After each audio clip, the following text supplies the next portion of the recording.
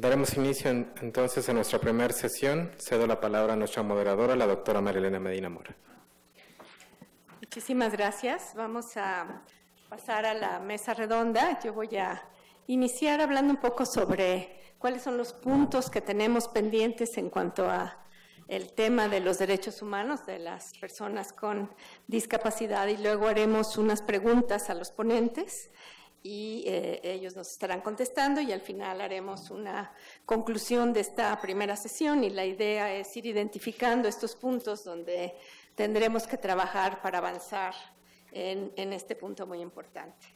Em, quisiera reconocer también la presencia de una persona muy importante para el instituto, que es la licenciada Gabriela Cámara, ella inició, digo, además de ser una buena amiga, colega, eh, ha sido una persona muy importante en este campo por muchísimas razones. La primera, porque representa a una parte importante de la sociedad civil, eh, de familiares de personas que tienen estos, estos problemas, estas condiciones, además de haber sido nuestro aval ciudadano durante muchos años a partir de esta fundación que ella instaló en, esta, en, la Ciudad de México. Y además ha sido una luchadora incansable y este término de la discapacidad psicosocial es un término que ella asume porque cuando eh, se, hace, se declara esta Convención de los Derechos Humanos, y nosotros sabemos eh, que la discapacidad es lo que caracteriza a las personas que desarrollan esta condición, eh, porque si bien sí se asocia con mucha muerte, porque hay suicidio y porque hay mortalidad prematura, sobre todo los enfermos graves, eh, la, carga más importante se debe a la discapacidad, es los días vividos sin salud. Si vemos una persona que desarrolla esquizofrenia, va a morir con esquizofrenia. Entonces, son muchos días que vive sin salud y esos son los días con discapacidad y entonces la oportunidad de la convención era luchar por los derechos de las personas y entonces ella incorpora el término de psicosocial y desde entonces se conoce como discapacidad psicosocial. Entonces yo siempre he dicho que desde que Gaby nos ayuda en el instituto, el instituto es mejor porque nos observa, porque nos dice que estamos haciendo mal, porque nos orienta a recuperar también las voces de las personas a las que nosotros servimos y entonces empezar ese, ese diálogo e incorporarlos en sus derechos a ser escuchados, pues es también una parte muy importante. Entonces, muchas gracias por, por estar aquí y bueno, es un honor eh, que estés en este simposio y en los que siguen. Este, ya al final este, tenemos cinco minutos para concluir. Ella nos ayudará haciendo también un cierre desde la perspectiva de este, de este asunto. Eh, voy a hacer primero, digamos, esta presentación de, de, cuáles son estos retos, porque cada uno de los seminarios ha sido en torno a un reto que tenemos pendiente y que es lo que pues Mariana y yo hemos estado discutiendo, trabajando con Nicolás y la idea es avanzar en estos seminarios, en este camino. Entonces, lo primero es que la convención nos da esta apertura porque habla sobre la necesidad de proteger a las personas con esta discapacidad, eh, que por muchas barreras que pueden ser eh, unas barreras sociales, que por lo tanto son posibles de modificar, eh, su participación efectiva en la sociedad se ve limitada y se ve limitada porque no tenemos las condiciones que les permitan vivir en comunidad como es uno de sus, de sus derechos. Tenemos el, el reconocimiento del respeto a su dignidad, eh, a su autonomía, a la libertad de tomar decisiones, a evitar la discriminación, eh, asegurar y promover sus derechos y libertades fundamentales y sobre todo eh, pues entender que la convención nos permite o nos da una oportunidad para esta, lograr esta protección adicional a la que tanto aspiramos. Y creo que la ponencia de, eh, del licenciado eh, Luis Raúl ha sido muy clara en este sentido de qué es lo que queremos y desde luego por la presentación de Mariana de qué es lo que este trabajo nos está inspirando.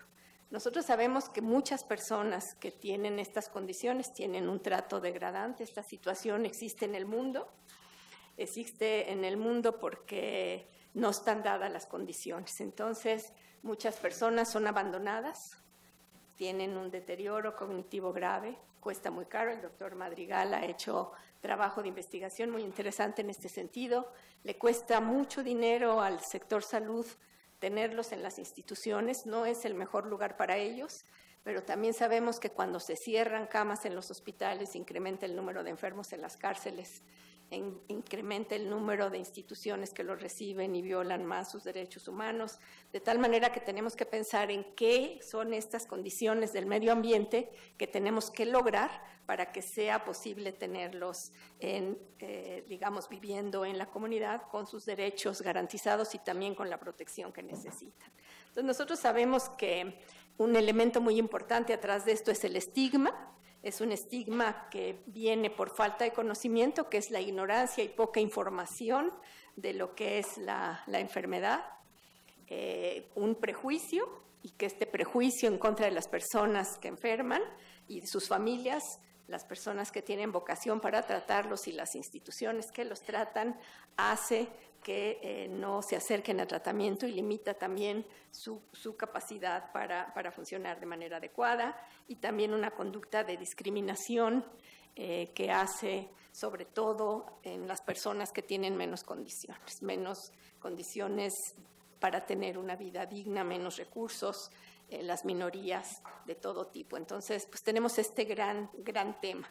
¿Y cuál sería, digamos, por una parte es eh, el tratamiento, el garantizar el derecho a tratamiento, que también es un derecho constitucional, el derecho a los medicamentos, que hoy por hoy eh, no están garantizados, dependen de la voluntad del secretario, pero la realidad es que del secretario de salud en, las no están garantizados este, para que puedan ser accesibles y este derecho a la persona que quiere tratamiento tendría que incorporar los medicamentos porque sin medicamentos lo que ocurre es que se vuelven los hospitales puertas revolventes.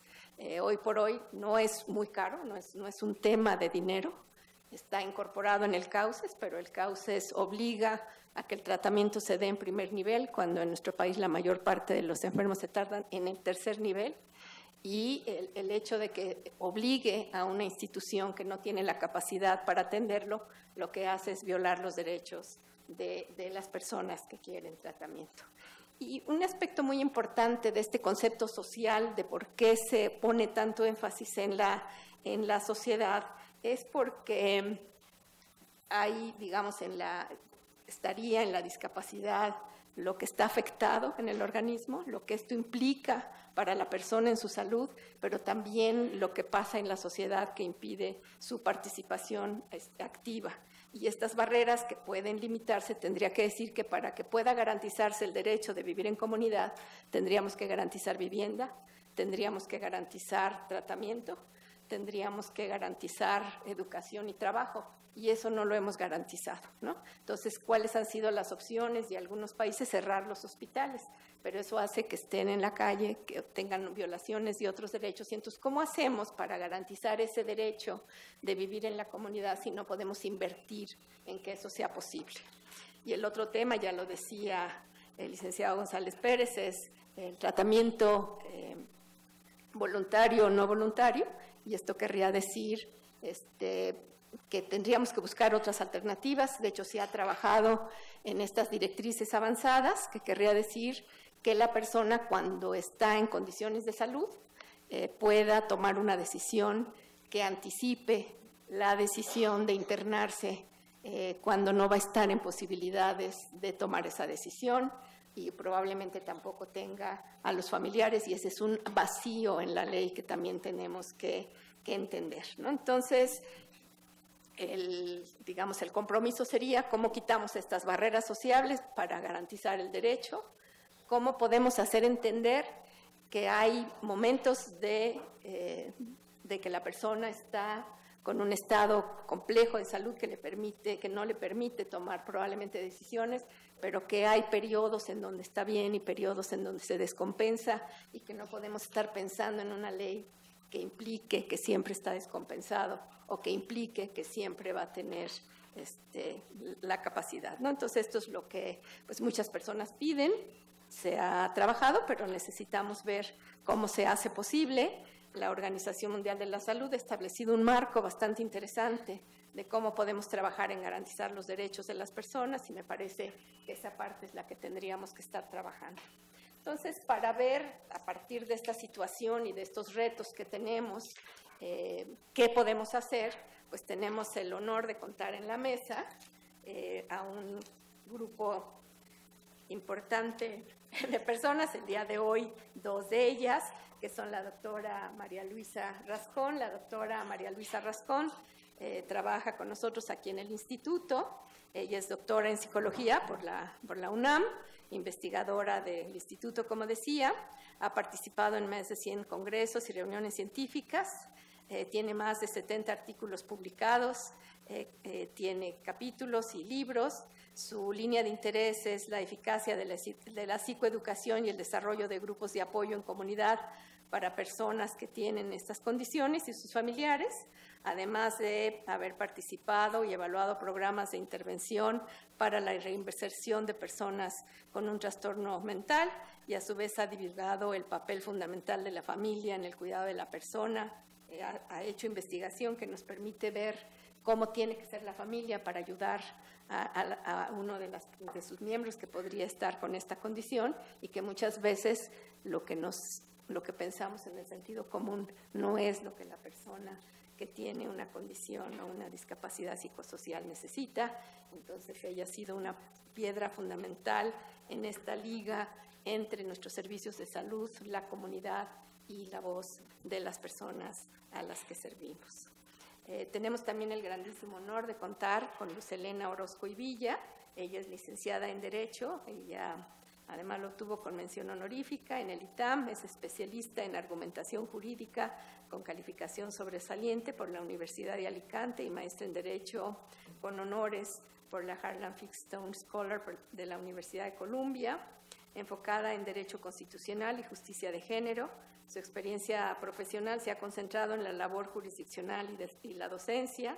Estuvo a cargo del área de investigación de la Coordinación General del Programa de Equidad de Género del Programa Judicial de la Federación y actualmente secretaria de estudio y cuenta adscrita a la ponencia del ministro José Ramón Cosío en la Suprema Corte de Justicia de la Nación.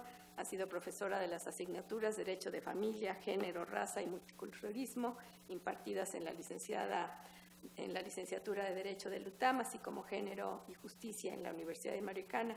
Fue becaria Fulbright García Robles y CONACYT por sus estudios de posgrado y ha publicado individualmente y en coautoría diversos, diversos artículos sobre justicia constitucional y derechos humanos.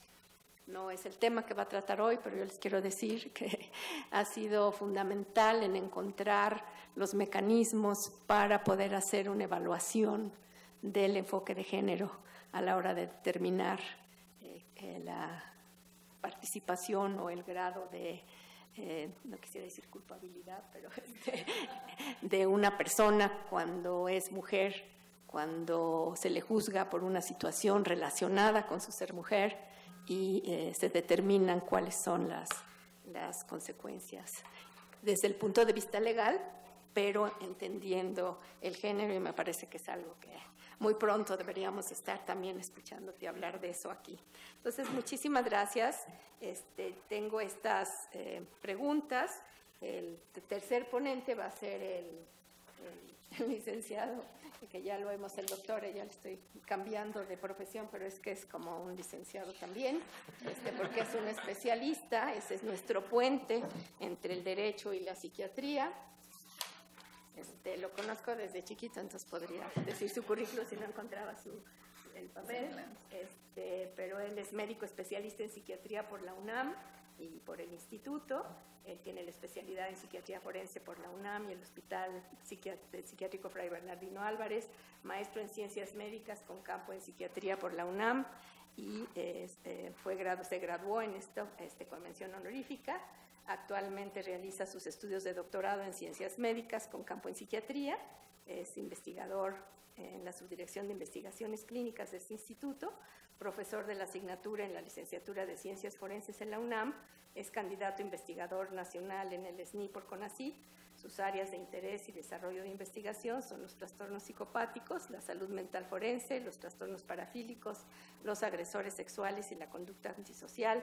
Cuenta con diversos artículos, capítulos de libros, libros como primer autor y coautor en revistas nacionales e internacionales y desarrolló la guía clínica de trastorno antisocial de la personalidad en México. Y él, digamos, este, le dije licenciado por un lapsus, pero no fue tan lapsus porque este, este puente tan indispensable entre la psiquiatría y, la, y las leyes que tanto nos hacen falta es a partir de la medicina forense y un psiquiatra forense nos permite hablar estos dos idiomas. Entonces yo estoy muy orgullosa que él haya eh, llegado a donde está, haya hecho lo que ha hecho y que tenga esta vocación por encontrar estos caminos de solución. Entonces voy a hacerles eh, las preguntas y la primera se la haría a la maestra Luz Elena Orozco y Villa. Este,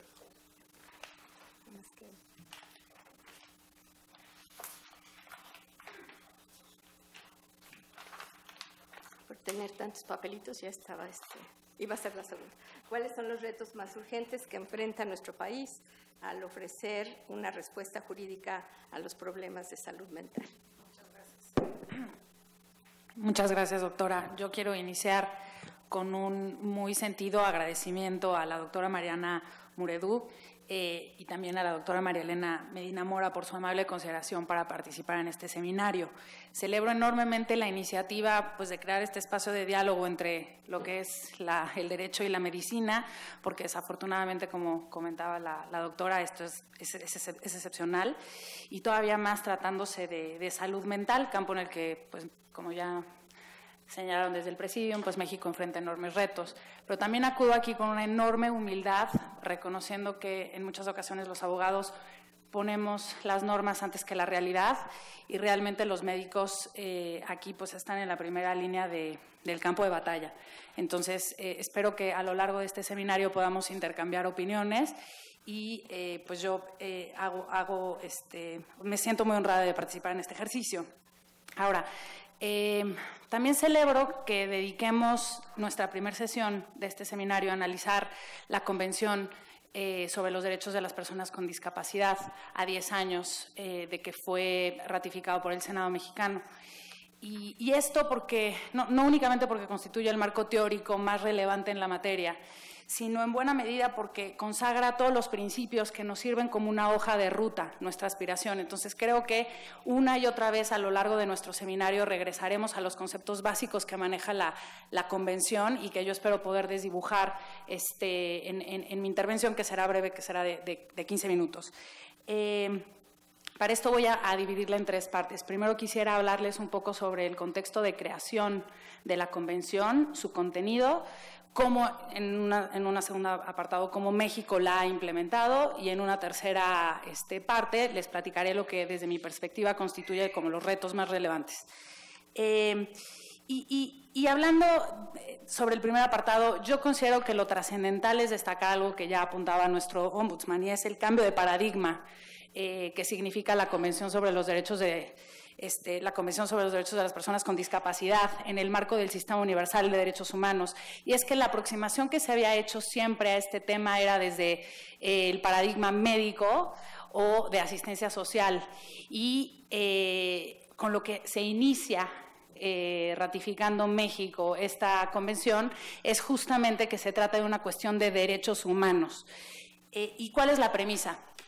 La sociedad ha sido construida, ha sido diseñada por las personas eh, que alegadamente no tienen ninguna discapacidad y pensando únicamente en estas personas, en las que no, no, no tienen ningún tipo de, discapacidad.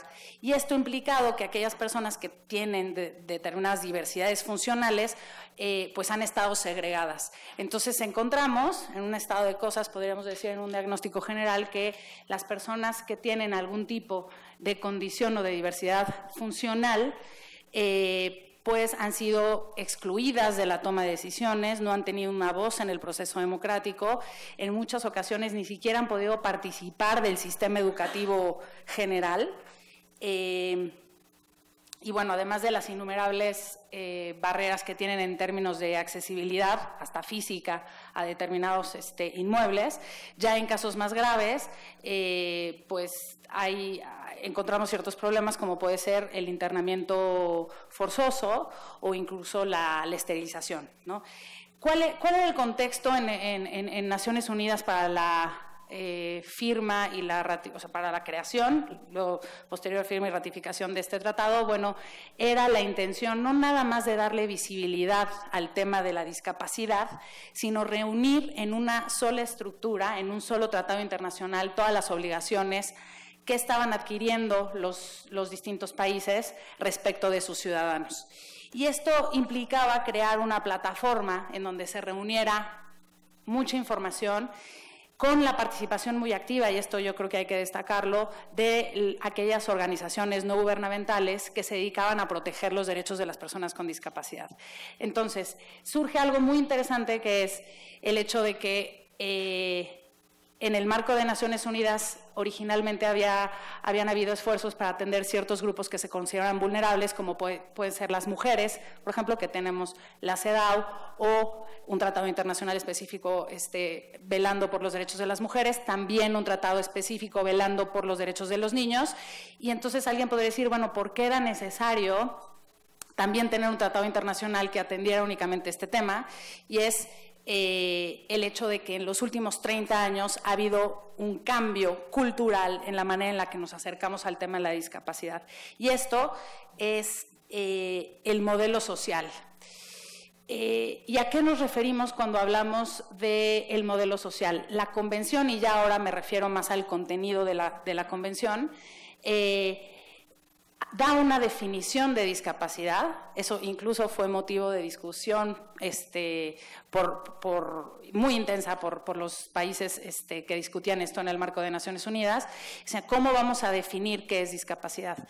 Y entonces, desde 1987 empezó un cambio a hablarse que se trata de las barreras sociales, entendidas estas por cuestiones que están en el entorno o que son actitudinales, haciendo referencia a que eh, son barreras culturales finalmente, eh, en donde es la interacción de las personas con estas características que están en el contexto, las que tienen ciertas dificultades o generan ciertas dificultades para que las personas puedan ejercer sus derechos en igualdad de condiciones. Es decir, el problema no está en la persona, la, deficiencia no está en la persona que tiene una discapacidad, sino en el entorno, en, la sociedad que no consigue garantizar eh, esta, participación efectiva de sus, de sus derechos. Y les voy a poner un ejemplo como para bajar de lo abstracto a lo, a lo concreto.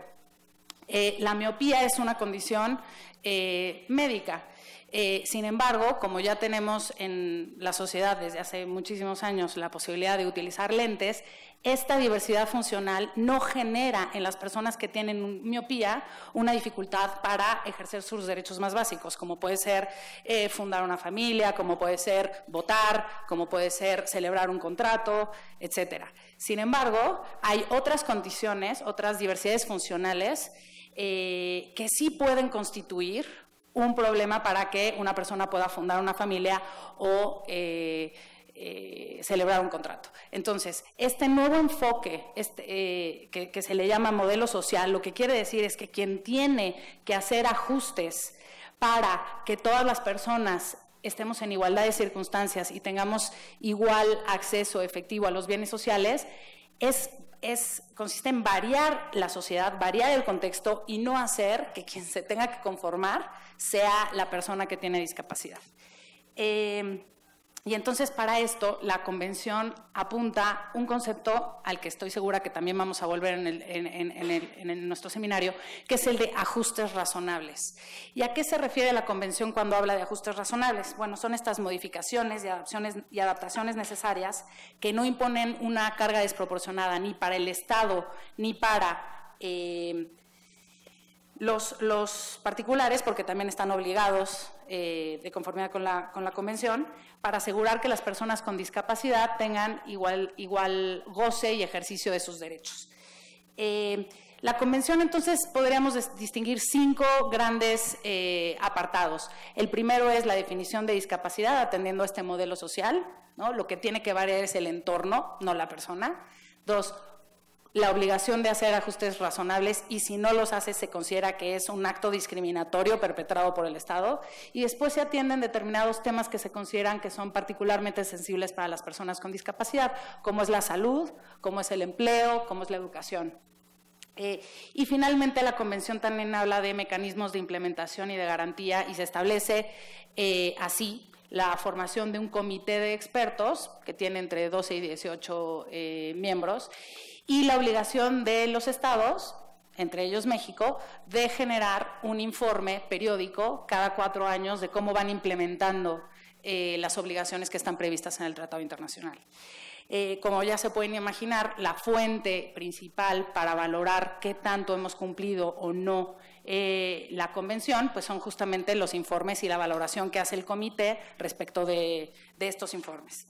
¿no? Yo quisiera detenerme no, este, sin abusar del tiempo, eh, en el artículo 12 de la Convención, porque me parece que hablando de eh, la discapacidad psicosocial es, sin duda el, más relevante. ¿Qué es lo que dice el artículo 12?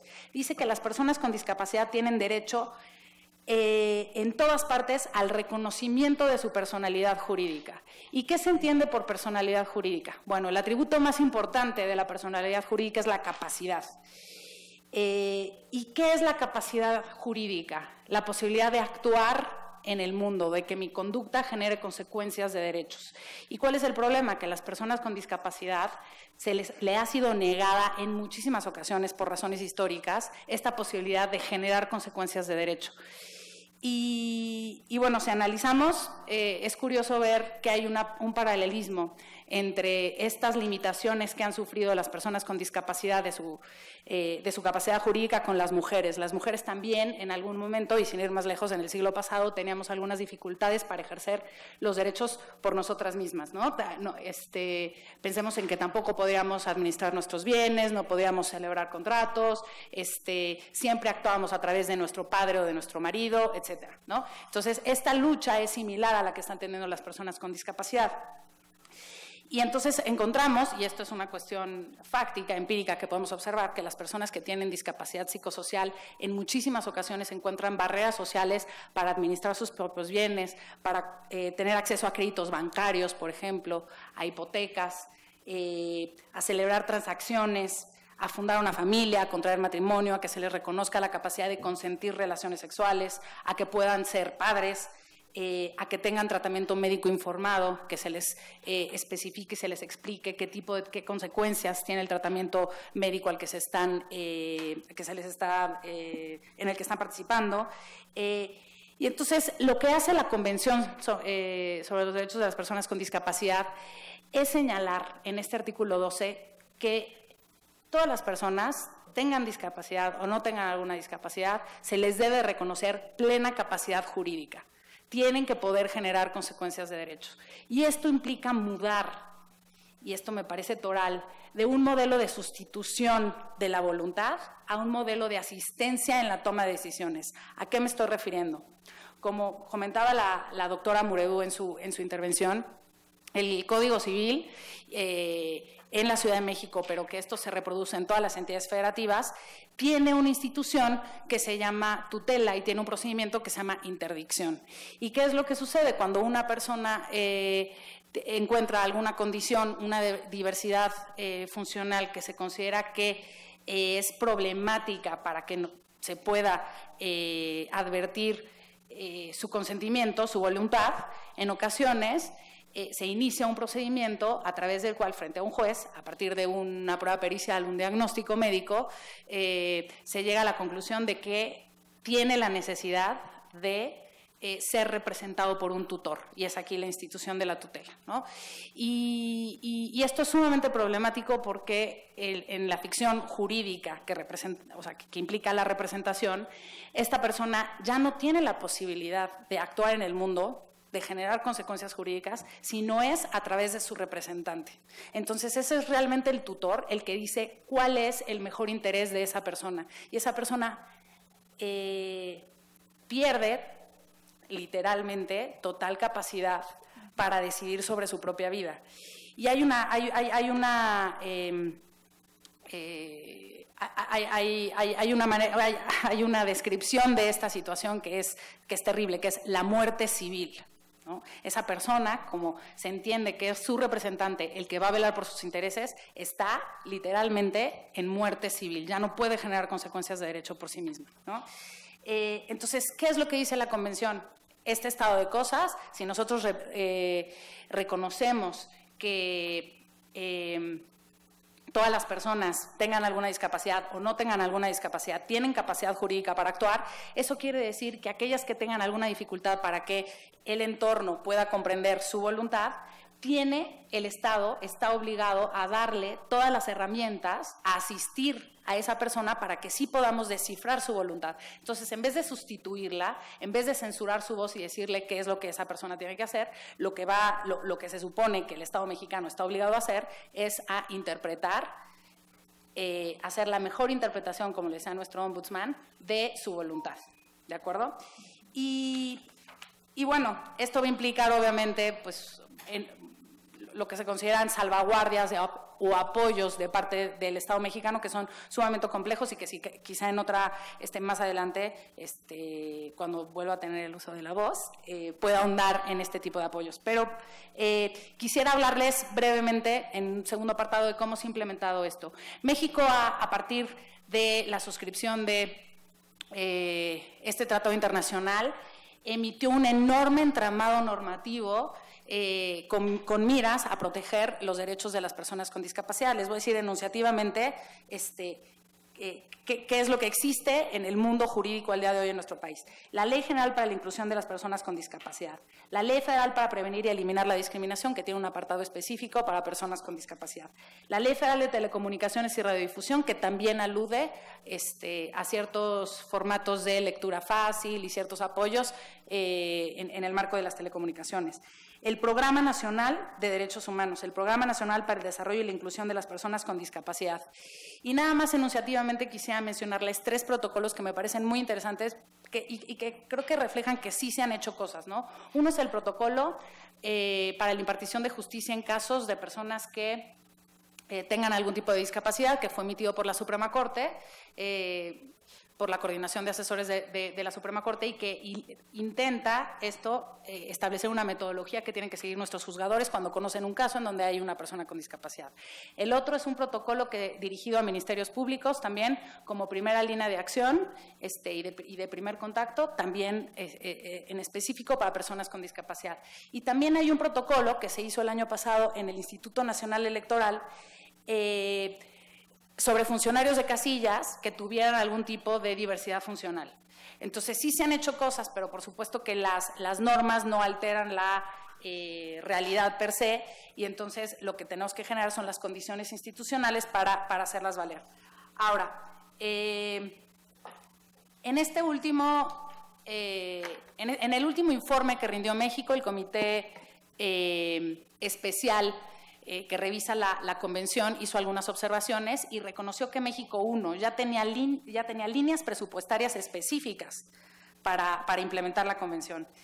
Eh, celebró que ya había estrategias de difusión, porque parte del otoral, y, lo, dice la convención, es que tenemos que migrar a, una especie como de toma de conciencia, justamente más apegada al modelo social de, la discapacidad.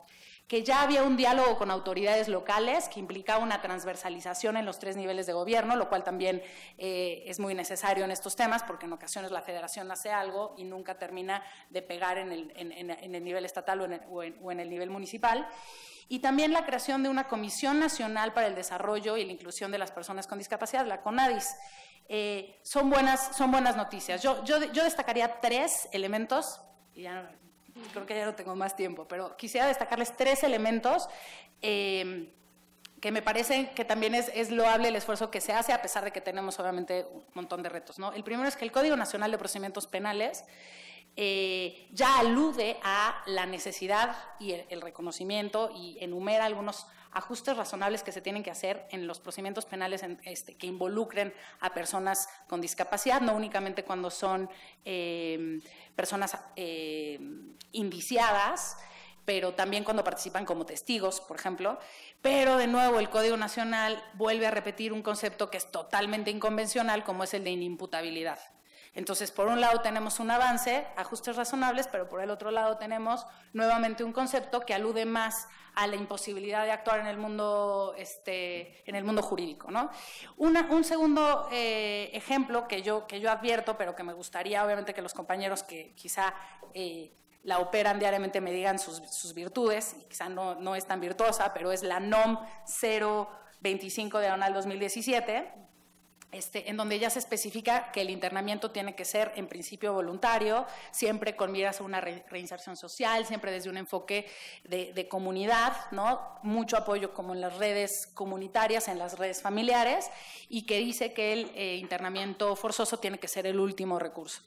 Eh, y, finalmente otra, otra cuestión que me da esperanzas de, que ya por fin estamos aterrizando la convención, es la reforma educativa, que si bien todavía no se, no se implementa, eh, pues ya eh, implica un, un, entendimiento muy distinto de lo que significa la educación incluyente, porque está previsto que ya todos los niños, todas las niñas y adolescentes que tengan algún tipo de discapacidad van a acudir a los centros educativos regulares, es decir, ya, ya, ya no va a haber escuelas especiales, ¿no? este criterio de especialidad que es tan, tan problemático. Entonces, eh, eso ya anuncia que hay una apertura de... Eh, de, estimar, este, de, tomarnos en serio lo que es la, la educación incluyente. Y bueno, este, creo que los retos ya los dejo para la siguiente intervención. Muchas gracias. Muchas gracias. excelente.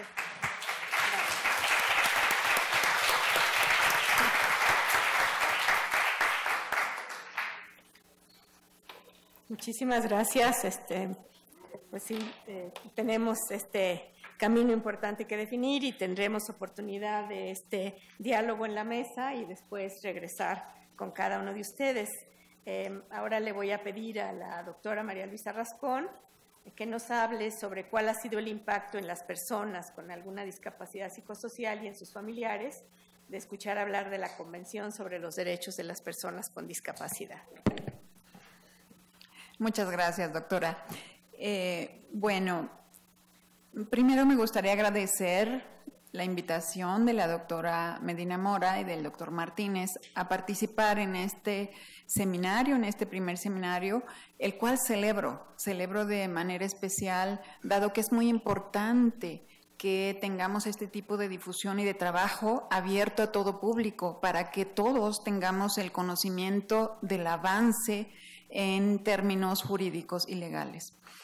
Bien, entonces, respondiendo a la pregunta que amablemente me hace la doctora Medina Mora, antes me gustaría agregar algo más a lo que ya mencionó eh, la doctora eh, Orozco, dado que ella ya dio una, introducción muy buena, simplemente hacer énfasis en algunos aspectos que da énfasis también en la, en la convención.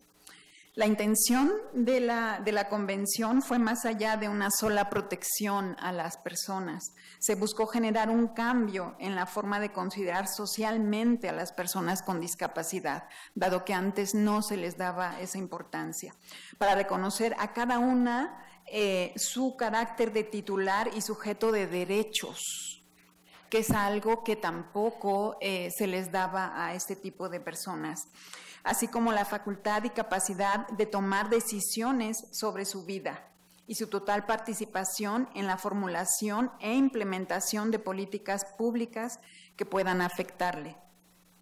Se trata de entender que las barreras que sufren las personas con discapacidad son un problema creado por la sociedad, que ya hizo énfasis la doctora Orozco.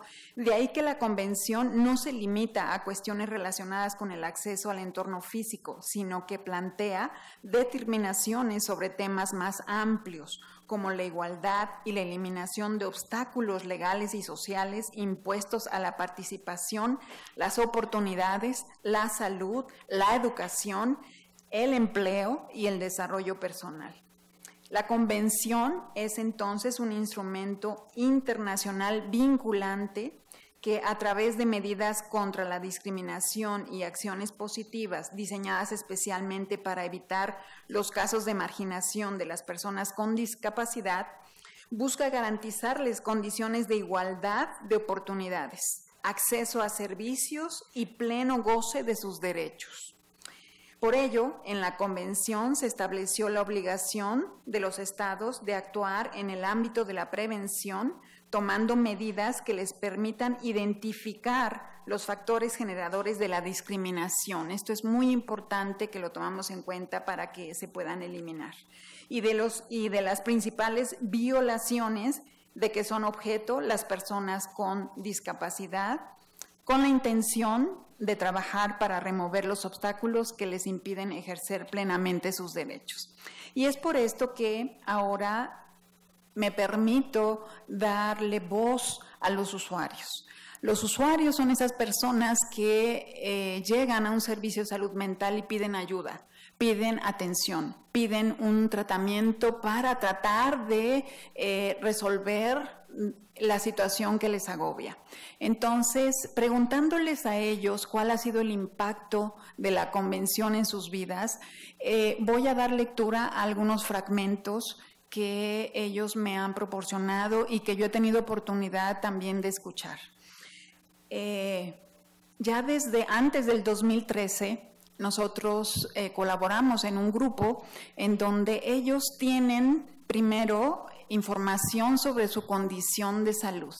Es decir, ellos vuelven a ser eh, personas eh, que se capacitan, ellos son alumnos en ese curso, no son pacientes, son alumnos que van a aprender de lo que les pasa para así ellos poder manejar mejor su situación y ser responsables de lo que les sucede.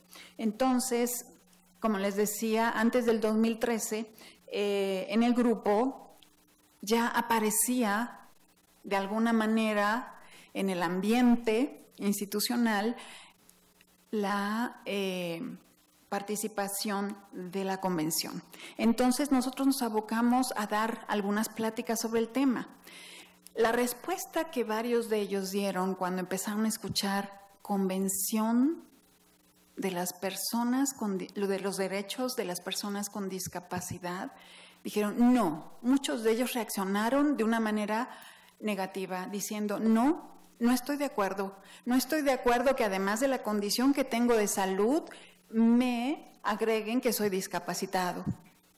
Y así, así fue, varios de ellos reaccionaron diciendo, no más, no quiero una etiqueta más en mi lastre de vida. Entonces, ellos, fue una reacción primaria que tomamos en cuenta y dijimos, ok, vamos a leer cada uno de los artículos, vamos a revisarlos de una manera para que los podamos entender y podamos eh, irlos conociendo un poco a poco.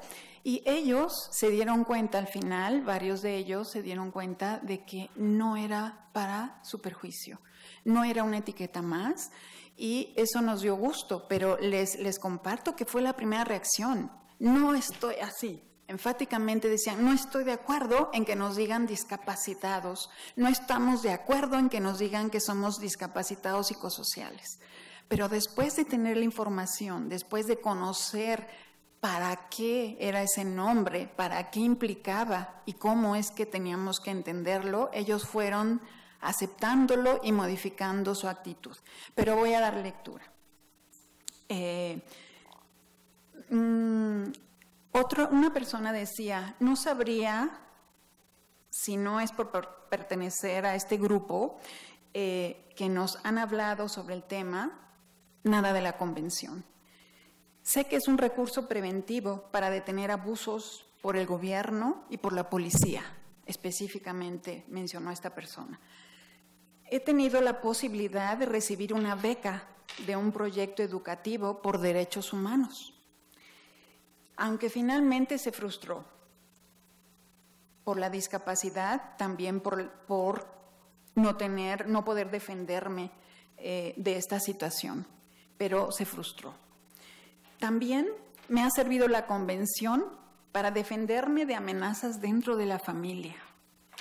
Esto es algo que eh, les puede resultar algo extraño, pero sucede. También eh, la misma persona me dice, recibo descuentos. Me ha beneficiado por eso, porque recibo descuentos en transporte y en actividades recreativas. O sea, asoció el beneficio con esto y es cierto, es uno de tantos beneficios. Otra persona del grupo eh, mencionó lo siguiente. Dice, para mí el conocimiento de la convención fue favorable, porque sé que tengo derechos y me defendí, por ejemplo, en CONAPRED, cuando propiamente me corrieron del posgrado por ser deshonesta. Y le preguntamos, ¿cómo? Dice, sí, por decir que tenía que asistir a mi consulta psiquiátrica. Eso es algo terrible, que en la escuela, en la universidad, haya tenido ella que dejarla porque la acusaron de ser deshonesta, porque simplemente dijo que tenía que ir a una consulta psiquiátrica. Otra persona agregó esto. Dice, para mí, el conocer la convención implicó una revolución mental. Al darme cuenta de que soy una persona con dignidad, sujeto de derechos y responsabilidades. Aquí agregamos responsabilidades, no solamente derechos, lo cual es muy importante. Cuando me reconocí como una persona con discapacidad, supe que podía invocar la convención si estaba sufriendo discriminación, ya que el modelo social de la discapacidad reconoce que la discriminación y la falta de oportunidades que vive la persona con discapacidad son fundamentalmente resultado de barreras sociales que impide la participación. En el caso de la discapacidad psicosocial, en este caso, él menciona que el que le den a una persona por ejemplo, un trastorno mental, el nombre de un trastorno mental, eso muchas veces lo etiqueta, le impide que dé un paso siguiente, porque no, porque no conoce, porque desconoce que aún así con ese nombre puede seguir adelante y él cree que con ese nombre no puede seguir adelante. Y los principales obstáculos que impiden la participación son de índole actitudinal, o sea, el estigma, los prejuicios, y los estereotipos, que esos los aplicamos todos, además de las instituciones dentro y fuera. La convención sobre todo busca generar la capacidad en las personas que viven procesos de discapacidad. Entender este proceso es algo complicado, pero no imposible. Entonces, cuando las personas que tienen una condición descubren que los van a capacitar para entender su discapacidad y poder tener derechos, es cuando abren la puerta a esa posibilidad de cambios. Y por ello se enfrentan a los enfoques, sí, hay que reconocerlo, biologicistas o médicos tradicionales, en donde hay que aplicar cambios. Urgen estos cambios porque muchos de ellos generan exclusión. La exclusión implica esa forma de ver a la persona como diferente e incapaz. Y eso es lo que tenemos que cambiar. Entonces, gracias a la convención y siendo una persona con discapacidad psicosocial, agrega, me reconozco como parte de la diversidad humana. Esa persona ya dejó de ser sentirse excluida. Y eso es muy importante gracias a la información. Y bueno, siendo optimista, la convención, otra persona me dice, dice, puedo acceder a un empleo digno en condiciones de igualdad y sin discriminación. acceso a servicios de salud con instalaciones y personal médico suficiente, sensible y calificado. Tengo acceso a una educación incluyente. Tengo acceso a disfrutar de los espacios públicos en términos recreativos y deportivos. Y además acceder a la procuración de justicia. Esto sí es una visión optimista, porque en un momento dado puede ser diferente. Las expresiones más comunes reportadas por eh, el COPRED, dirigidas a las personas con discapacidad, muchas veces son burlas, son negación de empleo, o sea que tú no estás capacitado ni estás apto para un empleo, minimizar sus capacidades y violencia expresa por agresiones y rechazo. Esto es entre algunas que encontré que nos refleja cómo está siendo el impacto de, a las personas con discriminación. Y bueno, em, también encontramos que hay una brecha existente importante entre los estándares internacionales y los esfuerzos institucionales, que los vemos día a día cuando ellas, estas personas que están queriendo tener esa inclusión, eh, resulta que no la pueden tener. Entonces, aquí paro y sigo en la siguiente pregunta. Gracias.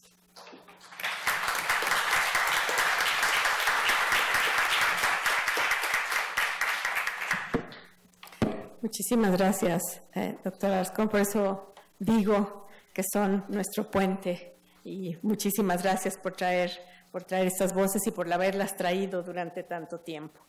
Eh, le quisiera pedir al doctor Nicolás Martínez si nos podría ahora hablar desde la psiquiatría forense cuál ha sido la trascendencia de la Convención eh, de los Derechos de las Personas con Discapacidad.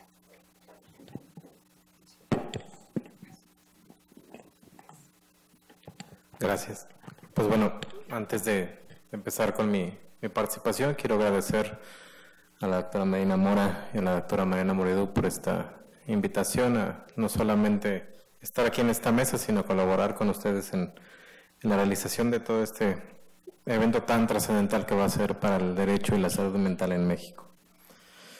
Creo que se ha tocado en, la mesa, tanto por la maestra Lucerena como por la doctora María Luisa, el tema fundamental de la convención dentro no solamente de la ley y de la opinión de los usuarios, de las personas con discapacidad psicosocial. Creo que han tocado puntos muy importantes que pueden inclusive poner dos visiones muy distintas, de aquellos que están acorde con la convención, aquellos que inclusive el término de discapacidad psicosocial no les agrada, y que en el entendido pareciera ser un instrumento que nos va a ayudar a cambiar el modelo médico, que creo que es el que también tiene que modificar mucho. Desde hace muchos años el modelo médico ha sido paternalista y la decisión se basaba exclusivamente en el conocimiento del médico sin la toma de decisión del paciente. Y creo que eso no solamente es dentro de las personas que padecen algún trastorno mental, sino en general. Y de ahí a veces derivan muchos de los problemas en la relación médico-paciente al no tener un buen consentimiento debidamente informado, no tener una adecuada comunicación. Y también se tocó un punto que a mí, sobre todo en la psiquiatría forense, creo que es de los que más ha trascendido se llega a confundir dos términos que no tendrían por qué pelear entre ellos. Uno es la capacidad jurídica, que todos por el simple hecho de nacer y de ser seres humanos tenemos el derecho a ser reconocida. Y la otra es la capacidad cognitiva que en algún momento de forma transitoria tendremos por padecer o no un trastorno mental. El hecho de padecer un trastorno mental no es un equivalente a tener una afectación completa en la capacidad. Y de ahí derivan muchos de los errores que se han establecido a nivel internacional. Y voy todavía un poquito más a profundidad, sobre todo en la parte que corresponde al derecho penal, que es la inimputabilidad que se tocaba hace un momento. Actualmente, el concepto internacional de inimputabilidad abarca no solo el hecho de que una persona pueda cometer un hecho delictivo, una conducta típica y antijurídica, bajo el, el padecer un trastorno mental, sino que justo este trastorno mental nuble su juicio. Y pareciera que todo hasta ese momento está bastante bien, porque el derecho penal parecía estar un tanto protegiendo a la persona que había cometido ese delito y que padecía un trastorno mental. Sin embargo, considero también que es una aberración el que una persona que padece un trastorno mental y que en realidad tiene una alteración de la capacidad y que no ha decidido cometer un hecho delictivo, el derecho todavía le castigue y le diga, ok, no te considero culpable, sin embargo, te voy a tener recluido en una institución en contra de tu voluntad por tantos años. Creo que eso es algo que tenemos que poner sobre todo atención y en el caso de México modificaciones de varias leyes. Si bien está inserto en el Código Nacional de Procedimientos Penales la parte de las medidas razonables de ajuste para el proceso, se ha caído en el punto de inclusive explotar de más este término, en donde ya no se establece una búsqueda de saber si la persona o no es culpable del hecho delictivo, sino por el propio hecho de haber tenido un trastorno mental al momento de cometer probablemente el hecho, ya se le está dando por culpable. No se le permite participar de su defensa y los ajustes razonables jamás se acercan a que tenga el acceso a un tratamiento. Porque vamos a poner un hipotético caso.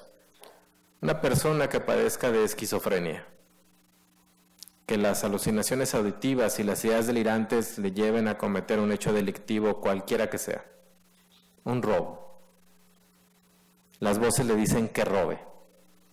Las ideas delirantes le dicen que así va a poder mejorar su estado de ánimo o va a poder cambiar alguna situación. Al momento de cometer el hecho delictivo, claramente hay una relación previa del trastorno mental con la conducta.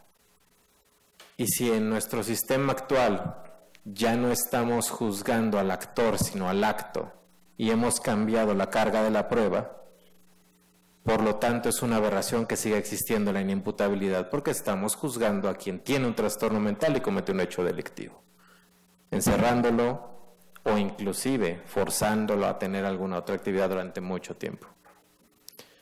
Ahí es donde los ajustes razonables tienen que implementarse de forma inmediata. Ante la sospecha de padecer un trastorno mental, como lo podría ser en este caso la esquizofrenia, de inmediato solicitar una evaluación por profesionales de la salud mental y darle un tratamiento, detener el proceso penal en ese momento y solicitar que cuando ya se encuentre con una capacidad de actuar y de poder discernir y de manifestar su opinión, en ese momento se empieza el proceso para que él sea partícipe de su defensa. Por caso contrario, sería muy difícil que pudiéramos respetar sus derechos humanos y más allá también su voluntad, su opinión. Vamos a otro caso dentro del mismo punto delictivo. Alguien que padece un trastorno de personalidad, como lo puede ser un trastorno narcisista de personalidad. La personalidad es un tema muy álgido que a veces se llega a confundir como que la forma de ser de una persona y esos sesgos cognitivos los llevan a cometer hechos delictivos. Y estamos hablando de una forma de interpretar la vida y de ver que puede llevar a conflictos con los demás en muchas áreas, pero no por ello se va a justificar directamente una conducta antisocial. En este punto, en ninguno de los criterios de un paciente con trastorno narcisista hay afectación en la capacidad. Ninguno de ellos. Hay ausencia de empatía, probablemente hay egocentrismo, hay una conducta arrogante, hay necesidad de reconocimiento, hay necesidad de llamar la atención, de un trato especial, etc. Pero ninguno de los criterios diagnósticos establece que la capacidad está alterada. Al momento de cometer un hecho delictivo, no tiene nada que ver la presencia de un trastorno como lo puede ser un trastorno narcisista.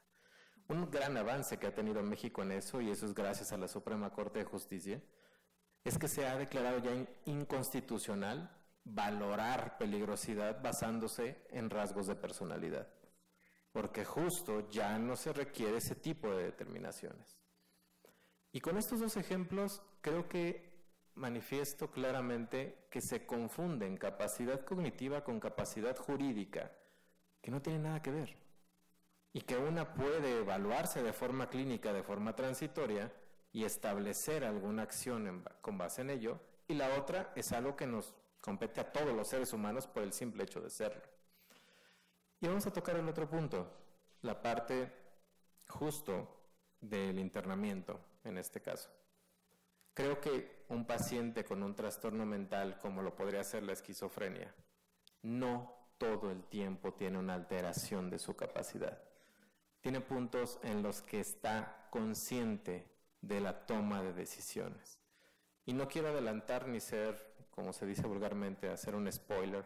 Sin embargo, en alguna sesión futura como ustedes tienen en el programa, la doctora Liliana Mondragón, que ahorita está presente, tocar el tema que ella ha trabajado a profundidad de directrices anticipadas en psiquiatría, que en mi opinión creo que es una de las mejores soluciones que puede tener, sobre todo para quitar esta parte del internamiento involuntario y de respetar la toma de decisiones de los pacientes. Y quiero cerrar mi comentario solamente con un par de puntos más. Tenemos muchísimas reglamentaciones, muchísimas leyes que han permitido el acceso a los derechos humanos de las personas con discapacidad psicosocial. Sin embargo, como bien se ha dicho por parte de mis colegas que me antecedieron, pareciera que la opinión pública es la que está impidiendo mucho de que estas personas accesen a sus derechos. El contar con un trastorno mental, con una discapacidad psicosocial, no tiene por qué impedir el accesar a un trabajo, o el tener una educación. Si por el simple hecho de padecer un trastorno mental se nos negara a todos el acceso a cualquier tipo de derecho, creo que estaríamos cometiendo una injusticia 24/7 y prácticamente con muchas personas. En ese caso, creo que las propuestas que se han venido dando en México han sido muy buenas, pero parcialmente han logrado algunos puntos. La Organización Mundial de Psiquiatría, la Asociación Mundial de Psiquiatría, perdón, en su presidencia previa, el doctor Sexena, generó un documento en donde se habla de los derechos de las personas con discapacidad psicosocial desde el área psiquiatría. Ese documento habla no solamente de un derecho a una educación, a una vivienda, al acceso y a la toma de decisiones, sino inclusive a votar y ser votado, a tomar decisiones y poder pertenecer a comités y estar dentro de la toma de decisiones que competen a ellos. Hace unos días en, Nueva York se realizó el Congreso de la Acción Psiquiátrica Americana y justo fuera del centro donde más estaban dando las conferencias, hubo una manifestación de pacientes con trastornos mentales que claramente ponían nada de nosotros sin nosotros. Y creo que ese reclamo es muy válido. Porque es imposible que sigamos tomando decisiones solamente desde este lado, ya sea desde las leyes o desde la medicina. Tenemos que tomar en cuenta todo el tiempo la decisión de aquellos que padecen un trastorno mental. Y entender que no por el hecho de padecer son peligrosos, que ese es el otro estigma que cargan. Desgraciadamente, el hecho de tener cualquier diagnóstico y padecerlo porque ninguno lo disfruta, pareciera que es sine qua non ser peligroso, ser violento. Y tenemos justo algunos ejemplos que desgraciadamente han pasado en el ámbito internacional. No quiero citar nombres, pero todos sabemos que ciertos líderes internacionales salen ante algún suceso sangriento a decir que esa persona seguramente era un desequilibrado mental, e inclusive de forma peyorativa. Y ahí es donde está el error. Si seguimos con esta concepción de que el padecer un trastorno mental es igual a ser peligroso. Y también otras observaciones que hemos tenido en las leyes mexicanas creo que también hay que tenerles mucho en cuenta. En los códigos estatales se sigue manifestando como símil el padecer un trastorno mental como, y me disculpo por las palabras, como idiota, imbécil, etc. Desgraciadamente seguimos con ese tipo de términos peyorativos en muchísimos códigos y leyes. Tenemos que cambiar la perspectiva desde casa. Tenemos que seguir haciendo este tipo de eventos y tener también esta parte de sensibilidad ante no tener miedo de alguien que padece un trastorno mental. Entender que también la salud mental es parte fundamental de la salud global que tenemos que tener como seres humanos. Y me detengo ahí para poder continuar la siguiente participación.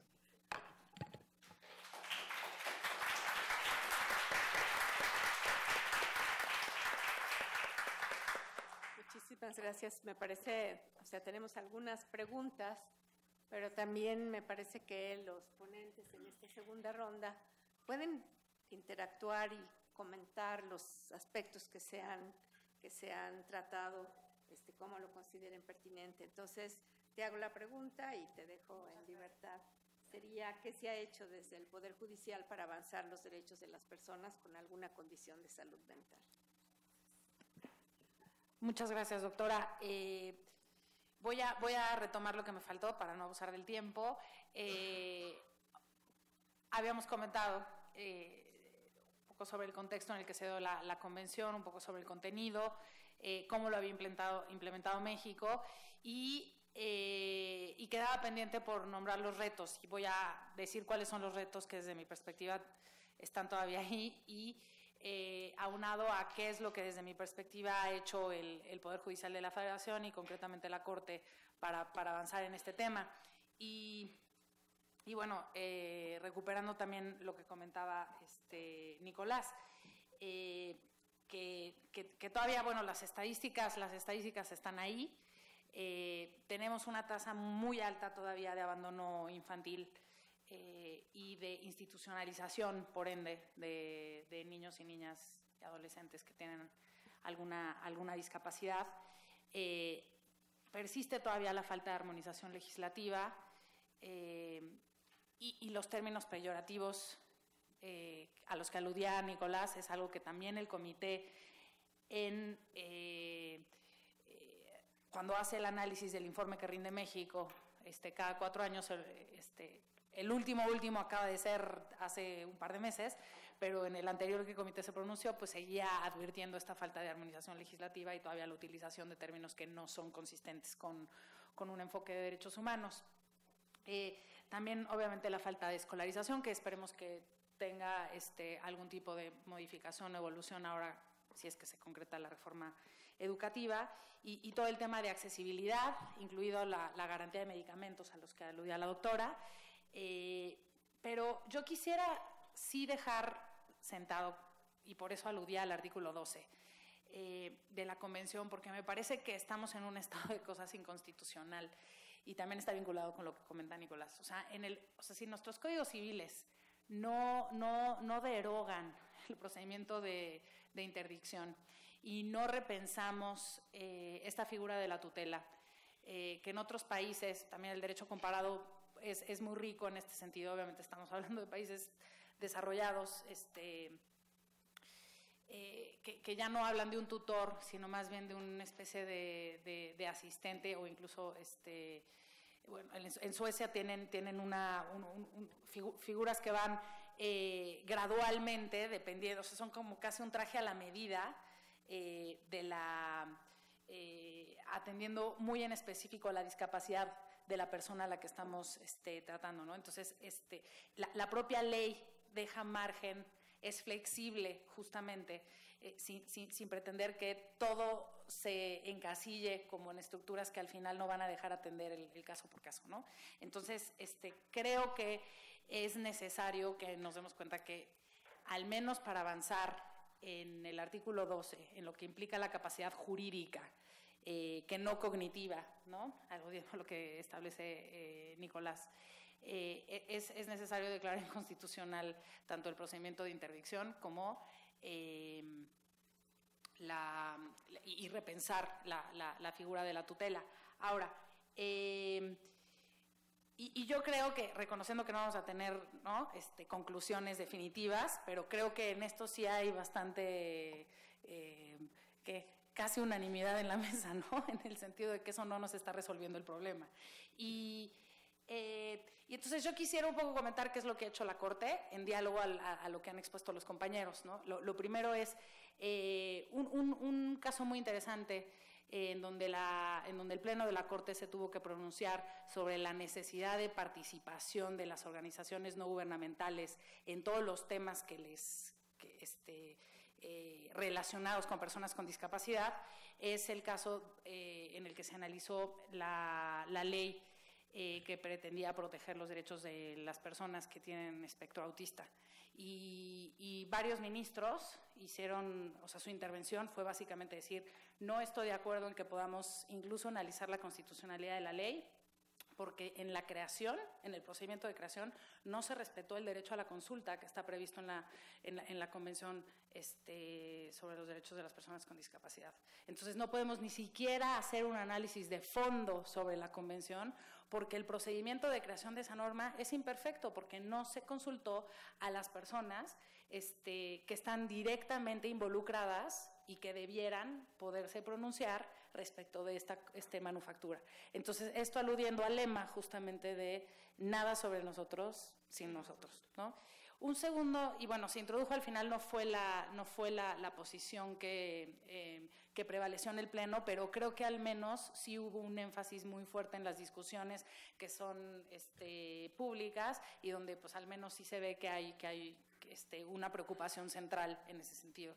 Eh, un segundo asunto que también va a ser materia de, eh, de análisis en, nuestra, en, nuestro seminario es el caso eh, de Ricardo Adair, el caso de este, que se conoce en la, Corte como Asperger, y que creo que justamente atiende la constitucionalidad de los artículos que en el Código Civil de la Ciudad de México establecen este, el procedimiento de interdicción y, esta figura de la tutela.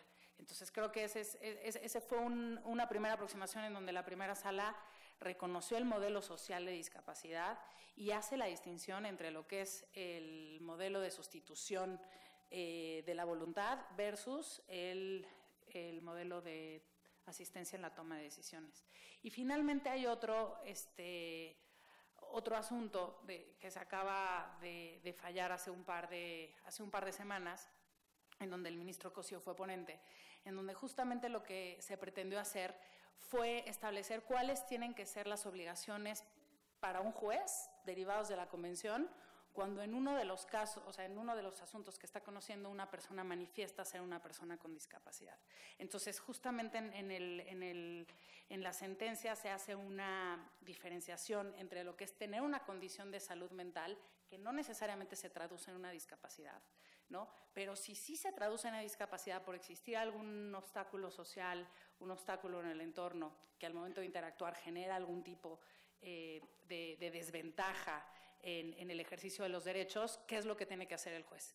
Y entonces, eh, pues bueno, ya lo cierto es que ya la Corte se está pronunciando sobre el tema y, obviamente, bueno, hay, muchos retos por delante, pero creo que ya está al menos en tribunales. Eh, operativamente ya, ya, podemos ver cómo las cosas están cambiando y, por supuesto, por, supuesto que es, una, es un cambio cultural muy complejo, pero que ya empezamos a, notar que al menos en, las, en el ordenamiento jurídico se empieza este, a permear, ¿no? Entonces, un poco en ese sentido.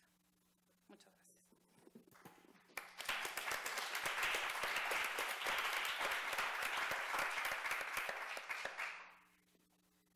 Muchísimas gracias. Me parece que es tocar uno de los principales retos, cómo podemos garantizar el derecho a tratamiento, cómo podemos garantizar que la persona pueda tener esta, digamos, capacidad de toma de decisiones. A veces requiere pasar por el, por el tema de atender su salud. Desde luego, la voluntad es importantísima. Y también cómo podemos proteger a la familia, que tiene a su cargo a una persona está poniendo en riesgo su vida y está poniendo en riesgo la vida de los demás. ¿Y cómo hacemos para, en este modelo social, entender si en el caso de los trastornos mentales el cuerpo sí, sí tiene que ver y, y sí hay una enfermedad de por medio cuyo tratamiento garantizará también otros derechos o debemos de tratar nada más al elemento social que tiene que ver con otro tipo de discapacidades. Y me parece que esa controversia es algo que tendremos que evaluar para garantizar que su voz se recupera, para garantizar que su voz se hace, se hace posible, pero también para proteger a la persona, a la familia. Y, digamos, yo creo que eso es un elemento que todavía tenemos que, que trabajar, ¿no? Pero creo que discutirlo se vuelve especialmente importante. Quisiera preguntarle a la doctora María Luisa Rascón, a estos 10 años que entró en vigor la convención, qué necesidades aún prevalecen. ¿no? Y nuevamente, pues también darle la oportunidad de que si quiere contestar algo a lo que se ha tratado también lo pueda hacer y tiene igual que los demás ponentes 10 minutos. Muchas gracias. Gracias, doctora. Pues bien, utilizaré también eh, eh, el tiempo para leer algunas de las frases que ellos me han proporcionado y que tienen un sentido muy particular, que voy a hacer énfasis en ello. Eh, primero, eh, varios mencionaron la necesidad de que exista más difusión de la convención, porque muchos de ellos, eh, a no ser que tienen información en el, en el grupo, en alguna plática, no escuchan que hable de convención el médico, no escuchan que hable de convención alguna institución de salud, salud mental no lo han escuchado. Entonces, es necesario la difusión de la convención en toda la sociedad, tanto en instituciones de gobierno, sector salud, educativo, cultural, social y ambiental también y económico. Además, sobre todo en la parte étnica también es importante que se toque este punto. Eh, otro compañero mencionó algo que es importante, que es el principal problema que se presenta para que las personas con discapacidad psicosocial hagan valer sus derechos. Ellos no saben cómo hacer valer sus derechos. Entonces, esto es algo pendiente, ¿no? Eh, para que ellos lo puedan hacer. Porque ellos dicen, yo no sé cómo le hacen los demás, que si los atiende un abogado y les lleva a un juicio, a mí no me hacen caso. A mí no me toman en cuenta, a mí me ignoran, soy invisible. Otro punto que mencionaron es que eh, la atención en salud mental, ellos la viven como discriminatoria. Es algo que tenemos que atender al interior de los programas de tratamiento y de rehabilitación. ¿Por qué? Porque todavía hay, unas, hay frases hechas que se los dice el médico y que ellos les llega y no se les borran, como por ejemplo, tú toda la vida no vas a poder hacer nada. Vas a tomar el medicamento siempre. Y eso se modifica, eso tiene cambios. Entonces, muchas veces ellos se quedan con esas palabras que les impacta y les causa desventaja. Entonces, eso tiene que cambiarse. Eh, otras, eh, otras de sus testimonios fue el que las personas con discapacidad psicosocial no se reconozcan como tales y muchas veces esto obviamente tiene que ver con prejuicios, autoestigma de ellos mismos, miedo al que al visibilizarse como personas con discapacidad psicosocial se sufran más discriminación o se les asocien con individuos menos válidos. O sea, eso es lo que mencionaba al principio también de cómo ellos dicen, no, no me agregue uno más, ¿no? Porque entonces yo ya no sirvo para nada. Entonces tenemos que ser muy cuidadosos y eso hace falta, cómo manejar estos términos para que ellos no sientan que son más incapaces. Otro punto que mencionaron es el predominio del enfoque biomédico que redunda en carencia de oportunidades. El modelo biomédico no habla muchas veces de la parte social. Entonces ellos lo ven como que sí, me dicen que voy a tener salud en unos años, pero ¿y lo otro? ¿Cómo lo voy a poder tomar? Entonces en el modelo biomédico tiene que haber también este discurso social y esas oportunidades sobre todo. En la parte eh, mencionaron los familiares que muchas veces ellos tienen actitudes reactivas. Cuando escuchan, por ejemplo, la defensa de derechos humanos, muchas veces los familiares prefieren quedarse con la palabra seguridad, con la palabra que represente eh, lo que diga el psiquiatra, ¿no? El tratamiento farmacológico o las formas tradicionales de abordar eh, las situaciones de crisis. Y siendo que ya hay alternativas diferentes, tienen miedo. Tienen miedo por ese desconocimiento de no saber qué cosa podrían hacer diferente. Entonces ahí también hay un reto. Em, Si hablamos de estas poblaciones, siendo usuarios, familiares, ¿no? y las mismas organizaciones y organizaciones civiles, muchas veces ellos nos dicen que eh, estas organizaciones no representan o no inciden para que se les dé cumplimiento a lo dispuesto para la convención, ya que muchas veces no trabajan con una perspectiva de derechos humanos. Hay muchas asociaciones civiles en pro de la salud mental y los derechos humanos están vistos de lado, como que ellos se enfocan en otros aspectos y eso no lo toman en cuenta. Entonces, este también es un reto importante de que los espacios eh, para que las personas con discapacidad tengan una voz cantante. Eh, sé que en un momento dado, como mencionaba Nicolás, ellos deberían de estar aquí, ellos deberían de decir lo que en un momento dado les hace falta para sentirse mejor en su evolución de su condición. Y muchas veces eh, no se les toma en cuenta. y bueno, para terminar, eh, eh, mencionaban cómo es esto, ¿no? Que muchas veces hay, hay pláticas de discapacitados en donde no va un profesional para hablar de, un ciego, no va un profesional para hablar de uno que tiene discapacidad motriz, sino van ellos. Entonces dicen, ¿por qué a nosotros no nos toman en cuenta? ¿Por qué no podemos estar ahí en un foro junto con los otros discapacitados? Entonces, esa también es una necesidad eh, pendiente para ellos. Gracias.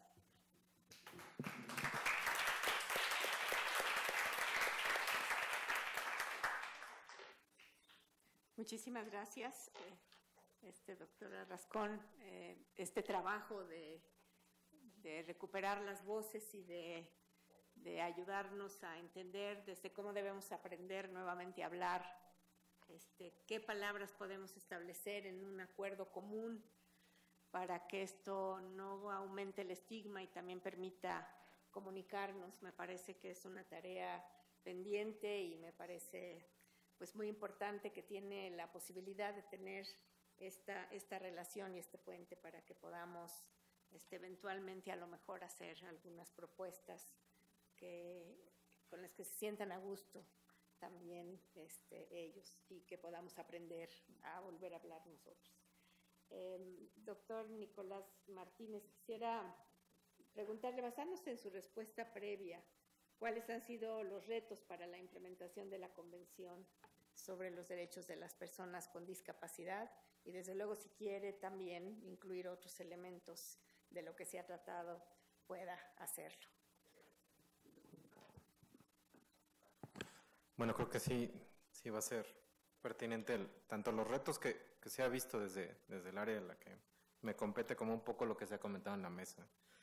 Creo que un, reto que tenemos importante para poder, inclusive como decía la maestra Luz Elena, declarar inconstitucional la interdicción, sería revisar los procedimientos de una pensión que puede llegar a tener acceso a una persona con discapacidad psicosocial por medio del ISTE o del IMSS, porque le requieren forzosamente el tener el juicio de interdicción para accesar a ese tipo de pensiones. Entonces, justo esa parte es, es, algo que puede inclusive obstaculizar el, hecho de que se rompa eh, ese, ese vínculo. Y la otra es, pues bueno, probablemente no, no, no lo sé, eh, quien, quien, más tiene la voz de, de, los usuarios sería, en este caso, María Luisa. En ese aspecto en específico, algunos podrían tal vez opinar que que les ha beneficiado el, proteger sus derechos, el punto específico de la interdicción en algunas cosas. Y yo creo que ahí el modelo de España de autotutela podría inclusive tal vez darnos un poquito de luz, en donde una persona en pleno uso de sus capacidades, como lo hacemos todos para una voluntad anticipada o para donación de órganos, antes de que pudiéramos padecer algún trastorno mental, determinamos ante un notario decir si yo tengo un trastorno mental que me incapacite y que altere mi juicio, designo a tal persona para que vele por mí. Eso podría ser inclusive una avanzada, ¿no? como lo que se intentó hace poco hacer aquí en cuanto a los la donación de órganos que después desgraciadamente echó para atrás, que yo creo que era una, una buena opción, pero bueno, es otro tema.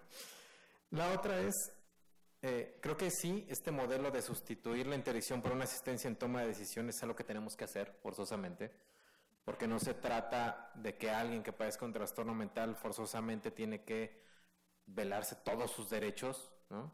Tendría que ser muy en específico, como en el caso eh, que, narraba acerca de, el autismo, que creo también se tocará en, sesiones posteriores. Y en esta parte en donde la condición de salud mental no es igual a una discapacidad psicosocial, creo que es algo que también tenemos que reforzar mucho. No son prácticamente términos equivalentes. No por padecer un trastorno mental forzosamente hay una discapacidad y viceversa, ¿no? Y bueno, ahí dejo esa parte. En, el caso que, me, también me, me, revolucionó un poquito ahorita escucharlo es, existió hace algunos años un artículo en JAMA, JAMA Psychiatry, en donde se establecía una hipótesis de que conforme bajaban el número de pacientes o de camas en instituciones eh, de, de atención en salud mental, incrementaba el número de personas dentro de las prisiones. Y ahí es donde, justo desde la psiquiatría forense, creo que tenemos una deuda importante en México. Necesitamos saber cómo están las personas privadas de libertad en cuanto a su salud mental. A la fecha contamos con esta encuesta que se hizo hace poco por INEGI de cuáles son las características sociales de las personas privadas de su libertad, a qué edad empezaron a delinquir, cuáles son las características que tienen. Sin embargo, no contamos con cifras reales de padecimientos dentro de prisión previo a estar en esta medida o inclusive saliendo, que creo que esa es alguna deuda también muy importante. En el caso de las personas que están privadas de su libertad por haber cometido un delito, no se trata de rehabilitación, se llama de reinserción, que ahí también tienen esta otra parte de bloquearles. Y si a eso le agregamos un trastorno mental como lo podría ser una dependencia a sustancias, que ese es un tema que revisaremos también en otra sesión muy de forma puntual, en donde pues ahí el derecho también se contradice, porque ok, entiendo que no eres culpable por cometer el hecho delictivo por un trastorno mental, pero si es adicción, entonces es agravante, ¿no? Entonces, creo que ahí es donde tenemos un error bastante grave en, el derecho mexicano. La otra que me hacía reflexionar también es en el caso del acceso a educación. Seguimos dándole una carga muy importante para empleo y para educación a las pruebas de personalidad. Desgraciadamente, el hacer un estudio con un instrumento como lo puede ser el MMPI para determinar si tiene ciertos rasgos o no de personalidad obstaculiza el acceso a ciertas áreas de educación o de empleo, que creo que es una forma también de discriminar y que muchas veces, y no me dejarán mentir los profesionales de salud mental en esta área, en esta sala, no es un determinante diagnóstico. Y, tenemos también otros puntos que tenemos que combatir y creo que es juntos. Desgraciadamente a nivel mundial ha empezado a existir algo que se llama neuroderecho. Y el neuroderecho es tratar de la reducción a ultranza biológica de la conducta delictiva y de la capacidad por medio de neuroimagen o de marcadores biológicos. Y no vamos lejos ha habido eventos aquí en México donde se les ha dado una importancia trascendental a este tipo de circunstancias, en donde por hacer una resonancia magnética y tener una variación en cuanto a las funciones mentales o una acción en ese momento, se podría determinar una culpabilidad y no hay nada más lejos de la verdad. El hecho de tener una conducta delictiva tendría que estudiarse de una forma muy completa y ver cuál fue el origen de una conducta antisocial, más que solo determinarla por una sola parte de un cerebro que se activa o no se activa. Y bueno, hoy eh, por la tarde, antes de este evento, se tuvo un evento de personas con fibromialgia.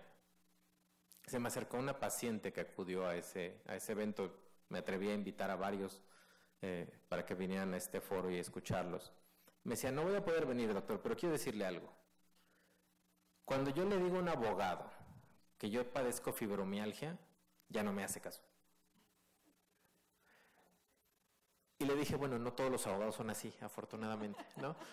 Y creo que usted tiene todo el derecho de poder defenderse y de hacer otras cosas. Después me narró un poco su historia. Pero lo que quiero dejar aquí en esta parte de esa anécdota que me tocó el día de hoy es, están ávidos de también ser escuchados no solamente por la parte médica, por la parte psiquiátrica, sino por el derecho. El derecho que compete muchas de las legislación, muchas de las regulaciones que, que hacen al actuar. Y bueno, finalmente creo que esta parte que se tocó de la atención en salud mental y discriminación, del autoestigma, creo que se puede resolver también con incrementar un poco la educación en cuanto a salud mental dentro de las propias escuelas de áreas de salud, como podría ser medicina, enfermería, psicología. Psicología está muy sensibilizada en salud mental, desgraciadamente medicina no, desgraciadamente enfermería tampoco. Aquellos que tienen el interés son los que se acercan, pero no hay como tal un incremento en la sensibilización de los padecimientos de trastornos mentales. Y aquí me detengo solamente con una última observación. Creo que un instrumento que puede servir mucho para poder hacer valer los derechos de las personas con discapacidad psicosocial enmarcados dentro de esta convención es justo lo que desarrolló la Organización Mundial de la Salud y que llamó Quality Rights. Son estas evaluaciones que se pueden hacer a instituciones o a países como tal, en donde están englobados dentro de la convención. Y es un instrumento que puede servir para poder evaluar que se respeten sus derechos dentro de hospitales, dentro de áreas de salud, dentro de muchísimas áreas. Muchas gracias.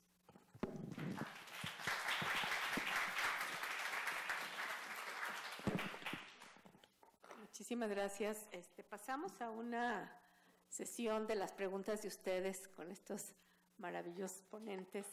Eh, si quieren hacer comentarios, preguntas, eh, estamos abriendo esta oportunidad porque me parece que también conocer la experiencia de las personas que nos acompañan es importante y pues aprovechar a quienes nos acompañan en el presidium para también dar su opinión.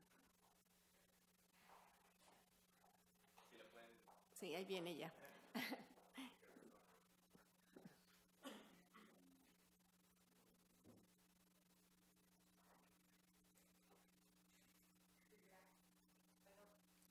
Sí, se oye. Este, bueno, nosotros como sociedad civil de Voz Pro Salud Mental, que ya saben nuestro trabajo, este, realmente una de las cosas que nos preocupa es este todo este movimiento de también asociaciones civiles anticientíficas, antipsiquiátricas, que se están colando mucho por los derechos ¿no? y por la convención. Y realmente sí es una preocupación porque no hay que alejarnos tanto de la ciencia, es muy importante. Dentro de, puedo decir, dentro de la experiencia de la asociación hemos oído cantidad de, casos, por supuesto, como de una chica con trastorno bipolar que fue a levantar un acta de violación y cuando dijo que su condición era trastorno bipolar ya no se la levantaron y no le hicieron caso. Y bueno, pues las noticias tenemos hoy la muerte de esta em, actriz que hizo el papel de, este, Luisa Lane, de Superman, con trastorno bipolar, que acabó en la calle, sin dientes. Y realmente cuando ella expresó su primer problema fue en la adolescencia con un intento de suicidio y sus papás pensaron que solo con dejarla iba a mejorar. Entonces, realmente eh, hay miles de casos ¿no? que podríamos hablar, pero por ejemplo, este, pues hablando de un caso personal de mi hermano, es recordar, ay, perdón, es recordar que él cuando lo internábamos en contra de su voluntad, cuando salía decía, decía este, ya pórtate bien, ya agárrate del tratamiento, etcétera, él decía, no, bueno, si me vuelvo a poner mal, tú me vuelves a meter en contra de mi voluntad, ¿no? Entonces, realmente le decían, no, eso no se vale. Entonces, fue una de las cosas que me motivó a empezar a hablar con la doctora Rascón y Medina Mora sobre esta posibilidad. También el hecho de que perdió todos sus bienes, por supuesto, por malas decisiones, y que bueno, fue en los años 80, entonces realmente había una gran diferencia. Pero bueno, este, realmente sí es eh, una reflexión, porque si en algún momento dado yo estuviera en situación de calle, yo sí quisiera que me metieran en contra de, de mi voluntad a tener tratamiento. Creo que es un derecho, ¿no? Y eso me preocupa. Gracias.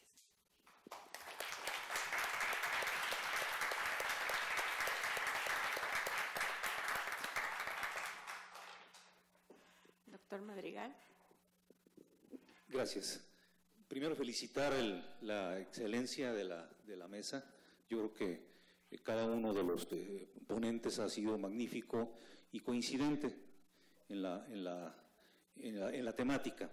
Yo creo que, digo, han tocado temas eh, eh, fundamentales y como que valdría la pena eh, hacer algún, alguna reflexión de síntesis en relación a todos esos retos porque yo creo que este, está claro pues de que hay un gran avance a partir de la convención, o sea, tener, la convención y 10 años después pues, fue un gran avance para las, eh, personas con la discapacidad psicosocial de este, estos movimientos de derechos humanos que han venido, a, han venido a darle en todo el mundo a los enfermos, a las personas con algún tipo de enfermedad mental, discapacidad psicosocial, pues más, más derechos y que ahora el reto es cómo vamos a implementarlos.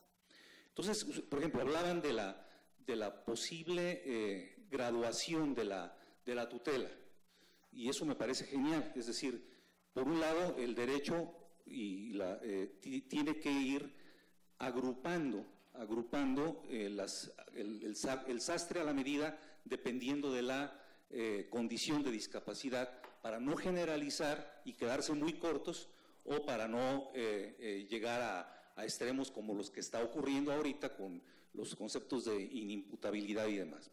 Por otro lado, la medicina también yo creo que tiene que definir mejor eh, también estos grupos. Es decir, lo que decía Nicolás es muy claro.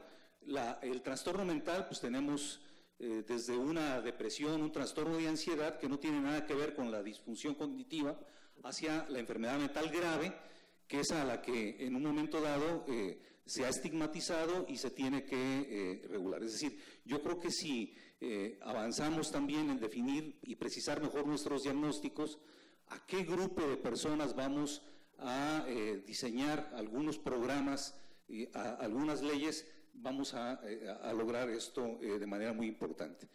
La otra, el gran reto, por ejemplo, a los que, los que eh, estamos en las instituciones es, tenemos que transformar las instituciones. O sea, las instituciones como están ahorita no nos sirven ni para tutelar este, el derecho. Aun cuando se diga, bueno, no las, no las, vamos a cerrar porque no tenemos una alternativa mejor, pero sí tenemos que irlas transformando, sí tenemos que dejar los viejos modelos de los eh, hospitales psiquiátricos, aun, aun con toda la modernidad, para realmente empezar a transformar la propia institución de salud con un sentido más eh, multidisciplinario, es decir, menos prevalencia del modelo médico único, menos prevalencia del tratamiento farmacológico único y más eh, condescendencia con el resto de los profesionales, la psicología, la enfermería y demás, para realmente acercar la salud hacia el modelo de la comunidad.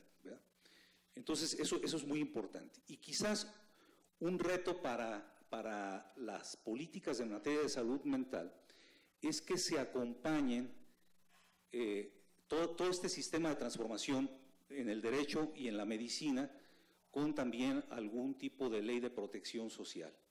Porque si no hay algún tipo de protección social, también gradual, también este, eh, complementario, este, difícilmente vamos a poder eh, con la estructura actual que tenemos en el sector salud, fragmentado y demás, realmente darle la posibilidad a las personas de decidir sobre su empleo, sobre su desarrollo y demás. Pongo el ejemplo de un ejemplo maravilloso que ocurre en una provincia de España, en, Zamora, con un gran líder, el doctor eh, Franco, que ha logrado, por ejemplo, desmantelar la institución eh, psiquiátrica tradicional. Tiene un hospital, pero le quedaron ahí dos camas y su personal y todo está desarrollando eh, los programas de, rehabilitación y de reinserción para esquizofrénicos. O sea, de nuevo, no puede ser para todas las personas eh, y que en, en, España en el 2009 se aprobó la famosa ley de dependencia social que otorga dinero es decir, eh, eh, tienen derecho a un subsidio de cerca de 700 euros las personas con esquizofrenia. Entonces, en, el resto de las provincias, las familias toman el dinero y mantienen ahí bajo control al, paciente y acá lograron modificaciones de tal manera de que el que dispone del dinero a partir de una citación gradual es la propia persona. El, cambio de paradigma que hizo o que ha hecho y que está eh, presente es vamos, vamos este, preguntándole a la, a la persona cuál es su proyecto de vida y sobre ese vamos a organizar la atención, más que preguntarle al, resto del sistema. Y entonces lo que hacen, por ejemplo, para el asunto de la vivienda, es que habrá, habrá personas que requieren de una vivienda con eh, personal asistido. Habrá personas que requieren de, o que pueden vivir en compañía de otras personas y habrá personas que pueden vivir independientemente. Y entonces ya no es el subsidio de te doy los X número de euros para que tú los gastes en lo que quieras, sino que va gradual a ese proceso y entonces vemos cosas maravillosas de cómo las personas tienen empleo, pueden vivir independientes dependiendo de su grado de autonomía o si requieren de una institución asistida. En fin, eh, transformar nuestras instituciones y el reto de la medicina es eh, cómo hacer realmente un tratamiento integral y también ver, ahora que está tan de moda, pues ofrecer dinero a diferentes grupos vulnerables, ¿verdad? Que a los niños, que a las madres solteras, que a no sé cuántas cosas. Bueno, yo no, no, no veo otra manera, sin, a través de una ley seria, de poder establecer también a este grupo vulnerable un apoyo, pero gradual y acompañado de un programa y de una serie de, eh, que vaya acorde a las necesidades que vayan requiriendo, no nomás así a, a darle a todo el mundo las cantidades, ¿no? Bueno, felicidades a la mesa. Muchísimas gracias.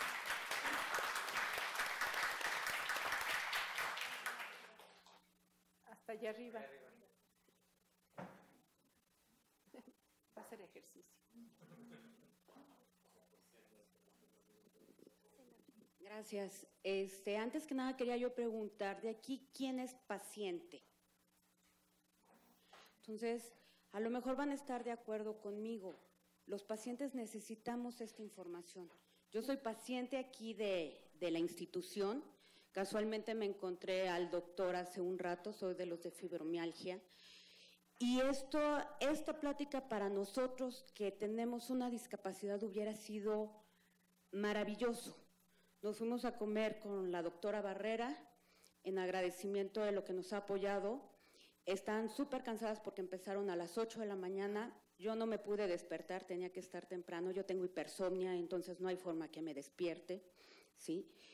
Eh, el estarlos escuchando, me van a disculpar si lloro, pero me movió mucho más que fibromialgia. El escuchar cómo no, no soy una persona que se tira al drama ni nada por el estilo. ¿sí? He tratado de salir adelante, tengo fibromialgia, afortunadamente bien controlada, hipersomnia, no cuento con el apoyo de mi familia en el aspecto de que no entienden que yo esté enferma. No entienden que hoy estás bien y mañana nada, ¿no? Mi mamá tiene una frase que siempre me dice, yo todos los días doy gracias a la vida por despertar. Le digo, yo todas las noches me duermo y digo, ojalá y mañana despierte. Y si despierto, porque me quedo dormida, no porque me muera, ¿eh? Y si me muero, digo, y si me muero. Y si despierto, que sea funcional, que pueda yo hacer algo. Hace poco empecé a funcionar. Tuve dos años realmente dormida, dos años que pasaron de mi vida sin saber qué pasaba. Veía la tele, iba al baño y de repente yo decía, ¿y qué estoy viendo? Eh, no sé, ¿es una serie o una película? No sé. Y es de dibujos animados, no sabes nada menos me voy a atrever a poder exigir un derecho o pedir una asesoría cuando no entiendo. ¿sí? En la fibromialgia se nos va el avión cañón. Yo, como les digo, mi ardillita apenas está funcionando y fue muy importante para mí venir. ¿sí? Dos años sin trabajar, necesito trabajar, pero no sé en qué puedo trabajar porque, ¿qué le voy a decir a mi jefe? Pues si despierto nos vemos mañana, ¿eh? Trabajaba antes de que pasara todo esto y de saber qué era lo que yo tenía. Le hablo a las 7 de la mañana a mi hermano, trabajaba con él, y le digo, gordo, no me puedo mover. ¿Y qué creen que me contestó? No hubo, ¿quieres que vaya? ¿Necesitas algo? ¿Una ambulancia? Fue, ¿tú crees que a las 10 de la mañana ya te puedas mover? O sea, me dio el ataque. Yo decía, yo quisiera moverme ahorita, no a las 10 de la mañana. Yo no sabía que existía la inmovilidad matutina en la fibromialgia. La fibromialgia es complicada, pero nos vemos bien. Ustedes me ven y dicen, no, esta está pero reluciente. Fui al centro de salud y no me quisieron dar mi certificado de discapacidad porque el doctor me dice, te veo bien y estoy, y estoy platicando contigo. El que yo pueda ahorita estarles diciendo eso requiere muchísimo esfuerzo de mi parte. Lo tuve que escribir y así es como yo puedo medio funcionar.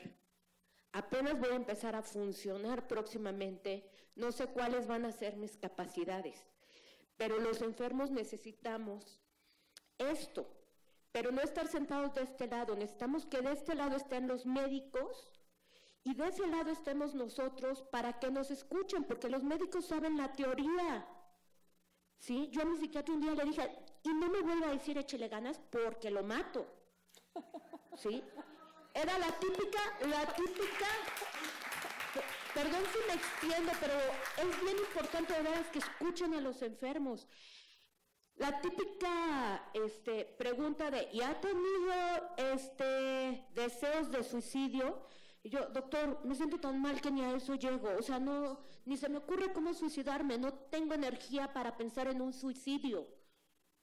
¿Cómo le explicas eso a alguien para pedir un derecho?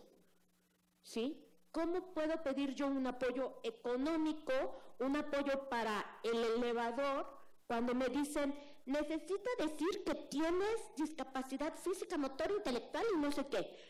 Pero aquí se maneja de una manera, en el INER se maneja de otra manera, en los centros de salud de otra manera, y quien lo ve es el DIF que te regresa a darte 25 vueltas.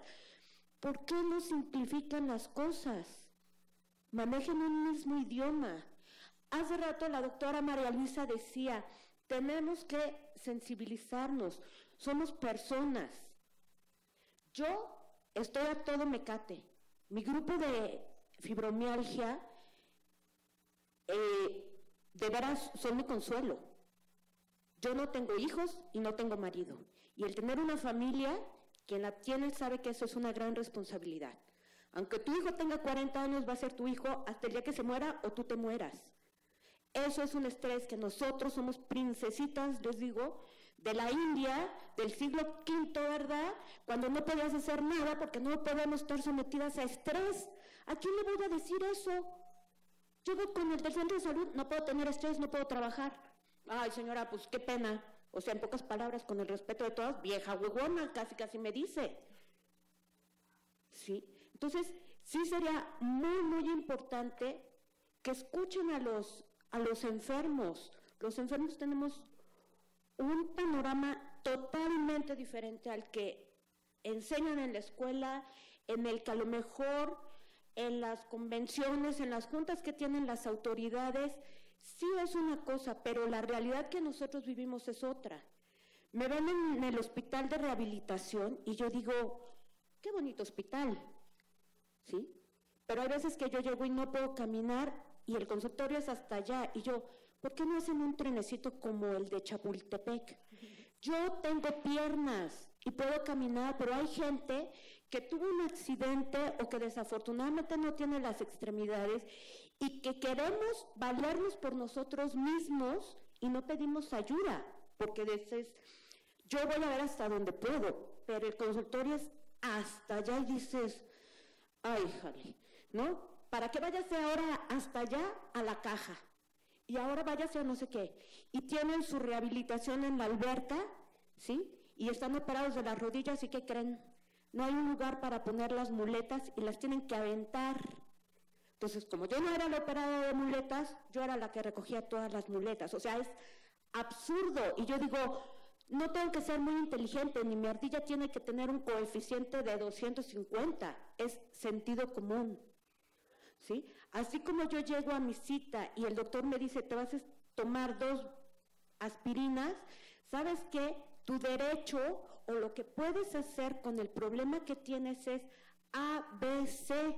En esta institución contamos con apoyos de este tipo, de este tipo, de este tipo.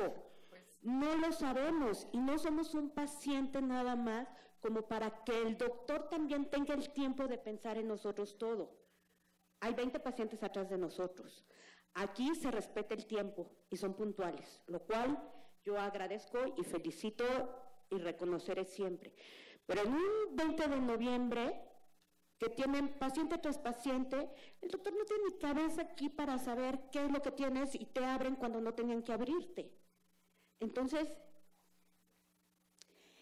¿de qué sirve de repente todo esto cuando la información no es la real? La real es la que tenemos los enfermos. De sí, así es, estamos de acuerdo en que su voz tiene que eh, estar presente. Y bueno, además de que vengas al, grupo con Maribel, si quieres en un momento venir al grupo Tierra a la Vista de nosotros, adelante. Ah, muchas gracias, no sabía que. Ahí son alumnos, no son pacientes. No, pues todos aquí este, tenemos ganas de, de salir adelante y estar. Y otra cosa muy importante, yo sé que existen diferentes tipos de discapacidades y a lo mejor lo que voy a decir es como sueño guajiro, pero creo que también sería importante como poder hacer un plan o no sé, del tipo de trabajos que pudiéramos desempeñar. O sea, yo por ejemplo ahorita ya voy a empezar a funcionar, toda mi vida fui independiente, ahorita no sé a qué me voy a enfrentar, no sé cuáles son mis capacidades, pero necesitas también tener contacto con otra gente porque eso nos motiva. Entonces, yo no sé si eso sea posible. Eh, yo vi el caso de un señor con un hijo que tiene autista y él invirtió su lana, esto fue en Estados Unidos, y puso un autolavado. Entonces, el autista, si tú le dices, vas a lavar de aquí a acá, el autista lo va a hacer perfecto de aquí a acá y no se va a poner a chacharear por acá como los de fibromialgia que somos este, muy distraídos, lo haríamos. Entonces, el servicio de lavado es perfecto y los cuatro lo hacen perfecto y funcionan perfecto porque eso es lo que les funcionó. Y el papá lo pudo hacer porque él entendía las necesidades y la, situación del hijo. Oye, ¿nos puedes dar tu nombre? Carla, Carla Torres. Ok, Carla, lo que vamos a hacer para darle también oportunidad a tus compañeras que hablen, es que vamos a pasarle a Maribel la información para invitarlas a este grupo que es complementario y yo creo que lo que han hecho ustedes en fibromialgia ha sido importantísimo porque le dieron validez social a que se trata a una enfermedad que ni siquiera se reconocía como tal, ¿no? Entonces yo creo que sería muy productivo que pudieran también colaborar en este grupo y desde luego supongo que nos vas a hablar un poquito de eso. Sí, exacto. Bueno, este, mi nombre es Mildred. Em, yo soy paciente de aquí del instituto. Yo le llamo mi segunda casa porque aquí es donde me he encontrado realmente, pues donde he encontrado mi empoderamiento, ¿no? Yo soy una persona que me considero muy empoderada, muy agradecida con la institución porque todo lo que se dice de la convención sí, sí, sí lo, lo, he visto aquí, lo he visto en grupos de apoyo, lo he visto con la doctora Medina Mora, que también me ha, brindado un gran apoyo, con la doctora María Luisa Rascón, que ella, yo soy alumna del, del grupo del cual dice, el de fui alumna de Tierra a la Vista, me integré al grupo Desafío, en donde venimos una vez cada 15 días a la sesión, en donde cada vez nos empoderamos más de nosotros mismos, teniendo esta condición de salud. Yo también soy paciente, eh, soy, voy a la clínica de género, este, tengo, una, este, borderline y tengo este, fibromialgia también. Entonces, ha sido mi vida hoy también. Entonces, este, yo me siento una mujer muy, muy empoderada. En cuestiones de salud, pues en mi tratamiento lo, ya lo voy tomando más íntegro. Eh, yo lo he vivido sola desde, se puede decir que casi toda mi vida. Este, yo sola he sido mi, mi sostén en todos los sentidos, económico, social, moral y demás, gracias al apoyo de más gente de fuera externa, ¿no? Eh, en cuestiones familiares, pues casi no tengo apoyo. Eh, ahora, yo me siento una mujer muy empoderada y hablo mucho del empoderamiento porque pues voy a los grupos, me entero de esto, voy aquí, voy allá y soy partícipe de muchas cosas. Y aquí viene entero.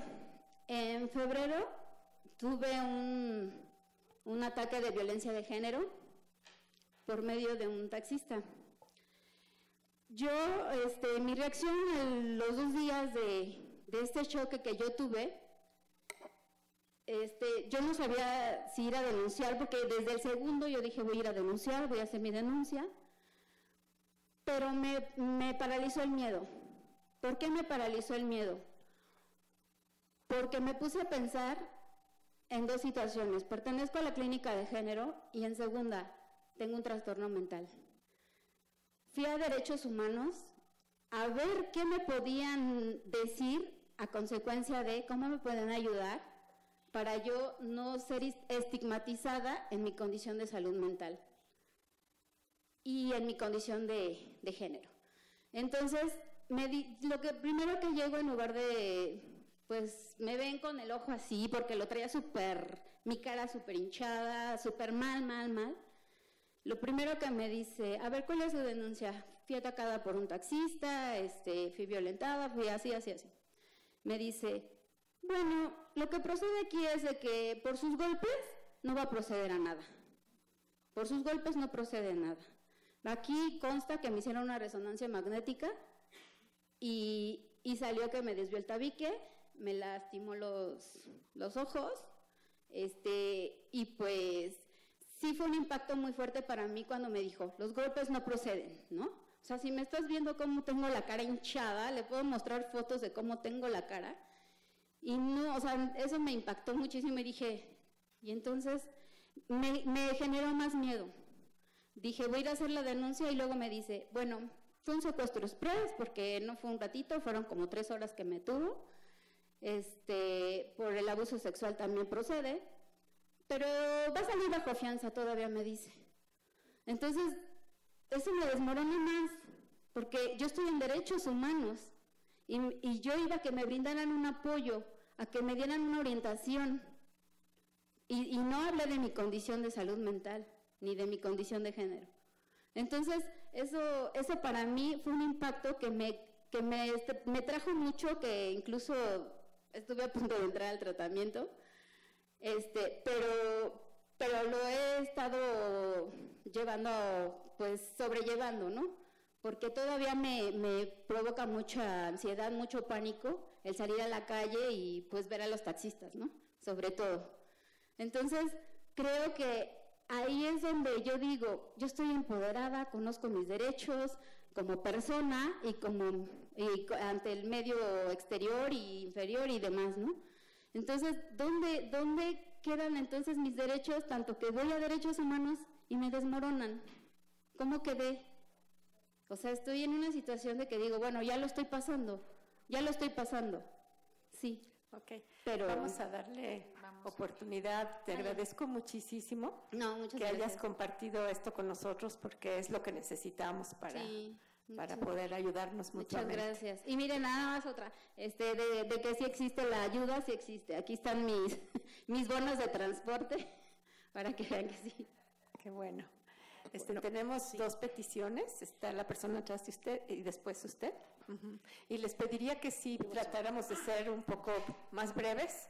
Claro que sí. Por favor. Bueno, yo también soy Mari Carmen Alonso, estoy en el grupo Desafío y Pro Salud Mental. Antes que otra cosa, felicito esta ponencia y felicito a cada uno de los que están porque están realmente haciendo una labor integral.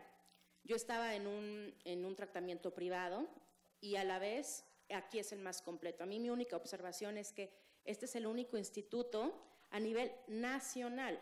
Entonces yo sí me pongo, digo, tengo la fortuna de tener el apoyo de, de mi familia y de esta gran ayuda de equipo. La verdad es que ha sido maravilloso, pero sí considero que es sumamente importante el trabajo multidisciplinario. Yo soy terapeuta y al final de cuentas creo que sí la parte médica la parte, eh, bueno, los fármacos, pero también estas actividades extras que se llevan a cabo necesitan mayor difusión. Esa es ahora sí que mi única observación. Muchas gracias. Es una observación muy importante, te lo agradecemos.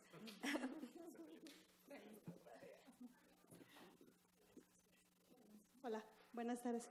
Buenas tardes, mi nombre es Cecilia Guillén. Trato de poner un poco en orden mis ideas porque ya es como tarde y eh, ha sido muy rica la, exposición.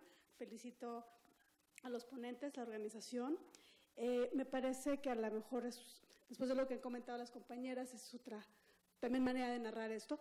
Para mí, 10 años de la convención, además también son 10 años como paciente aquí del Ramón de la Fuente.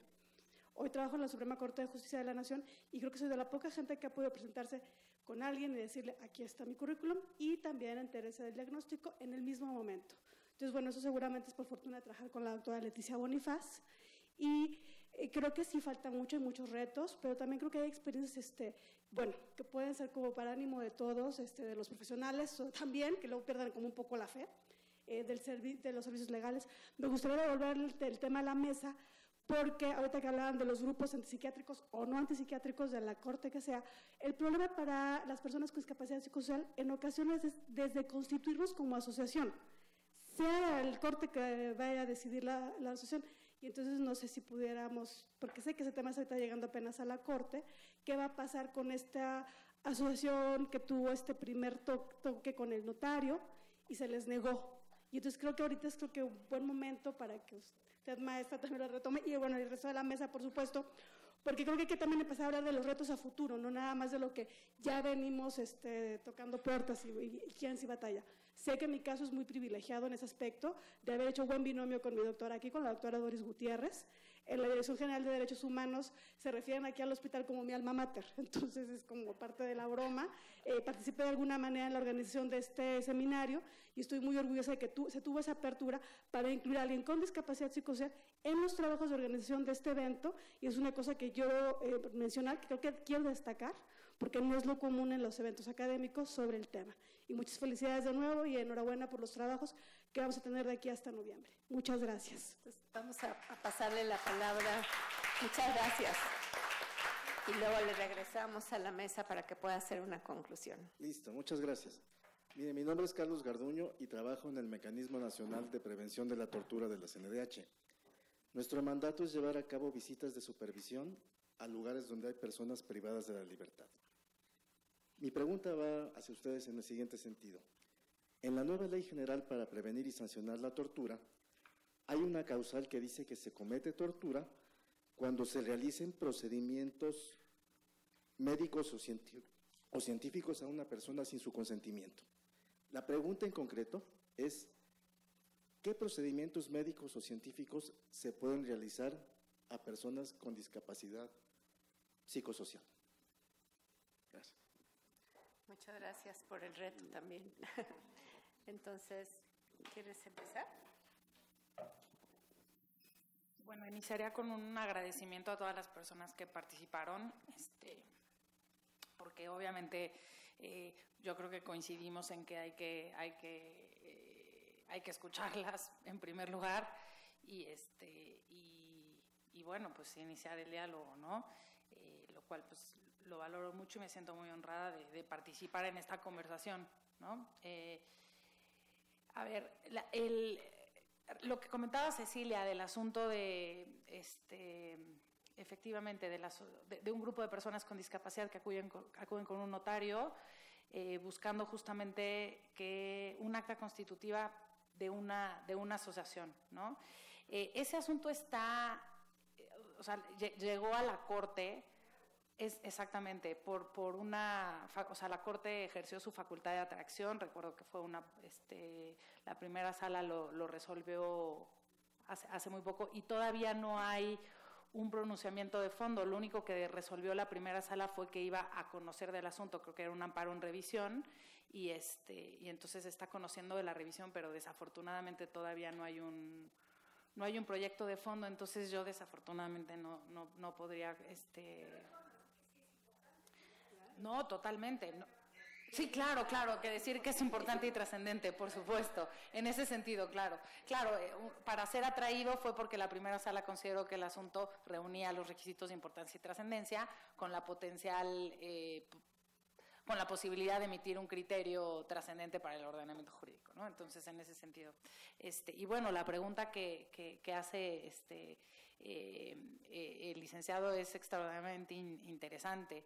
Eh, a ver, yo entendería que la NOM, pero ustedes por favor corríjanme, 17 dice que sí es posible hacer tratamiento forzoso, pero que tiene que ser el último recurso. Eso es lo que dice la NOM, lo que yo leí de la NOM. De lo que yo desprendo de las observaciones generales del comité especial eh, que le da seguimiento a la implementación de la convención, creo que este, queda esto reducido como a su mínimo, mínimo, mínimo. Entonces yo creo que más bien tendrían que ser los médicos los que nos dijeran, nos, indicaran cuál es este universo ¿Quién me manda a ser el único médico? no, está bien. De hecho, eh, creo que ahí es muy específico en que está prohibido y se considera tortura en el caso específico de personas con discapacidad, por ejemplo, psicocirugía. El tener una intervención neuroquirúrgica sin el debido consentimiento informado de un paciente va en contra de sus derechos humanos y se puede considerar tortura. En el caso específico del área psiquiátrica, tenemos en el caso de la Ley General de Salud, en el artículo 75, en el capítulo séptimo que corresponde a salud mental, la facultad de que justo cuando peligra la vida del propio paciente de un tercero, se puede instaurar un internamiento involuntario y se puede dar un tratamiento en contra de su voluntad indicado por el médico lo cual implica justo no una psicocirugía, sino administración de fármacos, y específicamente para un padecimiento que se ha nublado el juicio o la capacidad de forma transitoria, que a esto es a lo que seguramente la respuesta de directrices anticipadas en psiquiatría va a dar solución. Pero en específico yo consideraría que es más bien la psicocirugía o procedimientos quirúrgicos que pueden ir en contra de la voluntad de la persona. Y bueno, desgraciadamente en México contamos con historia. Hace poco leía yo un artículo en el Universal que los nazis adoptaron el modelo de eh, esterilización realizada en la frontera entre Estados Unidos y México de pacientes con discapacidad intelectual para poder ellos hacer esta parte en la población eh, eh, judía. Entonces, ese tipo de circunstancias también van en contra esterilizar a alguien en contra de su voluntad sin un consentimiento. No sé si fui claro.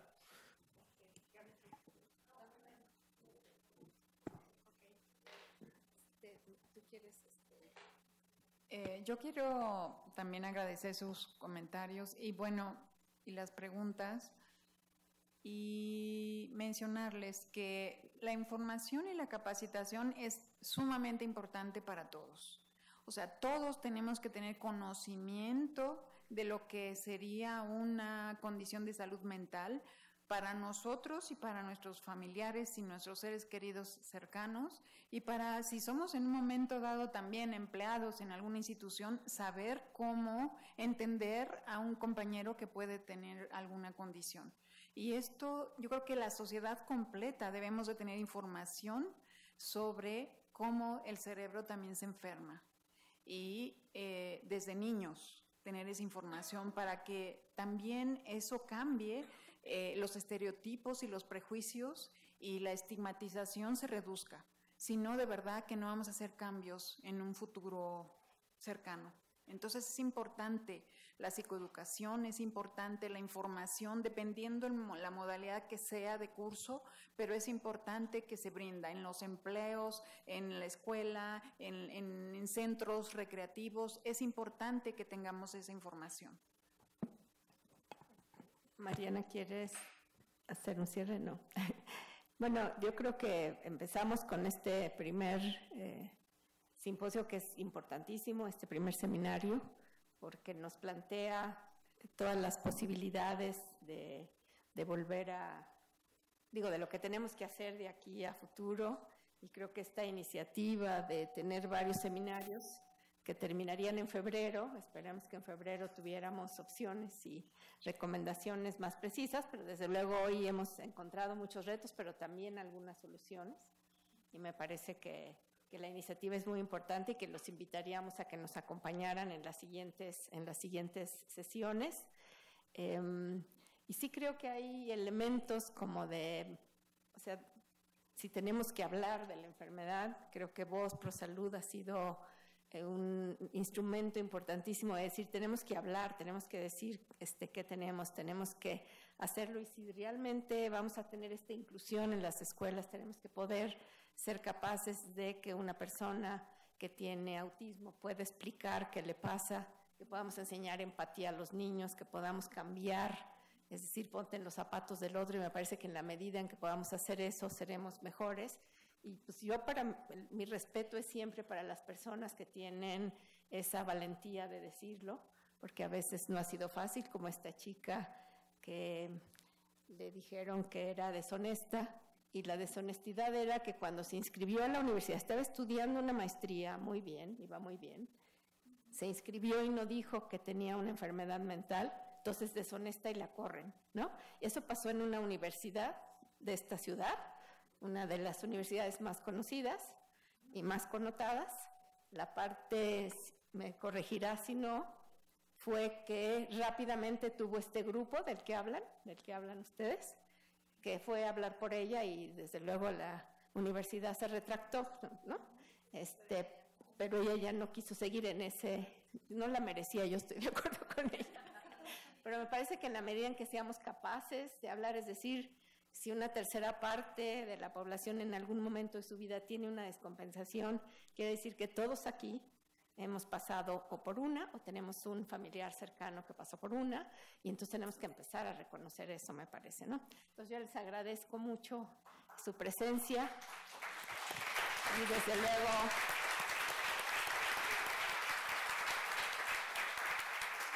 a esta mesa que, que estuvo maravillosa y nuevamente a la doctora Benedul que nos hace, bueno, que impulsa este, este ejercicio eh, que me parece que va a ser súper importante, y a todo el equipo eh, y a todas las personas de las diferentes organizaciones que creo que su interés por avanzar en esto y dar soluciones creo que nos ayudarán a realmente dar el paso que necesitamos dar a 10 años. Eh, Gabriela nos va, le pedí que nos diera un cierre y ella ha aceptado, entonces le pediría que por favor nos ayudara con esto. Muchas gracias. Este, con respecto a lo de discapacidad psicosocial, sí quisiera comentar que algo que estamos comentando con la doctora Minamora es que Voz Salud Mental en el 2006 entramos a CONADIS cuando éramos puras asociaciones civiles y eh, todos los compañeros tenían algún tipo de discapacidad y todos con eh, muy preparados, ¿no? Estaba Ernesto Rosas, está de Buenfil, este, varios otros, que me enseñaron muchísimo de otras discapacidades. Y todos me decían, ¿y tú qué haces aquí? Entonces yo hablaba de una discapacidad que no sabíamos cómo ponerle, que podía ser temporal o permanente por enfermedad mental. Entonces, realmente, si te fijas, ahorita todavía la convención no habla de discapacidad psicosocial. Este, no existe en las leyes como tal y es algo que tenemos que lograr. Este, fue gracias a Tai de Buenfil que ya me dijo, creo que tu discapacidad de la que tú hablas puede embonar en, discapacidad psicosocial y empezamos a hacer un estudio o una investigación y ya empezamos a usar el término, ¿no? De discapacidad psicosocial. Pero bueno, pues es agradecerles a todos, agradecerle a la doctora Medina Mora y a todos los que se quieran unir a pues tener una sola voz en, en favor de la salud mental. Gracias.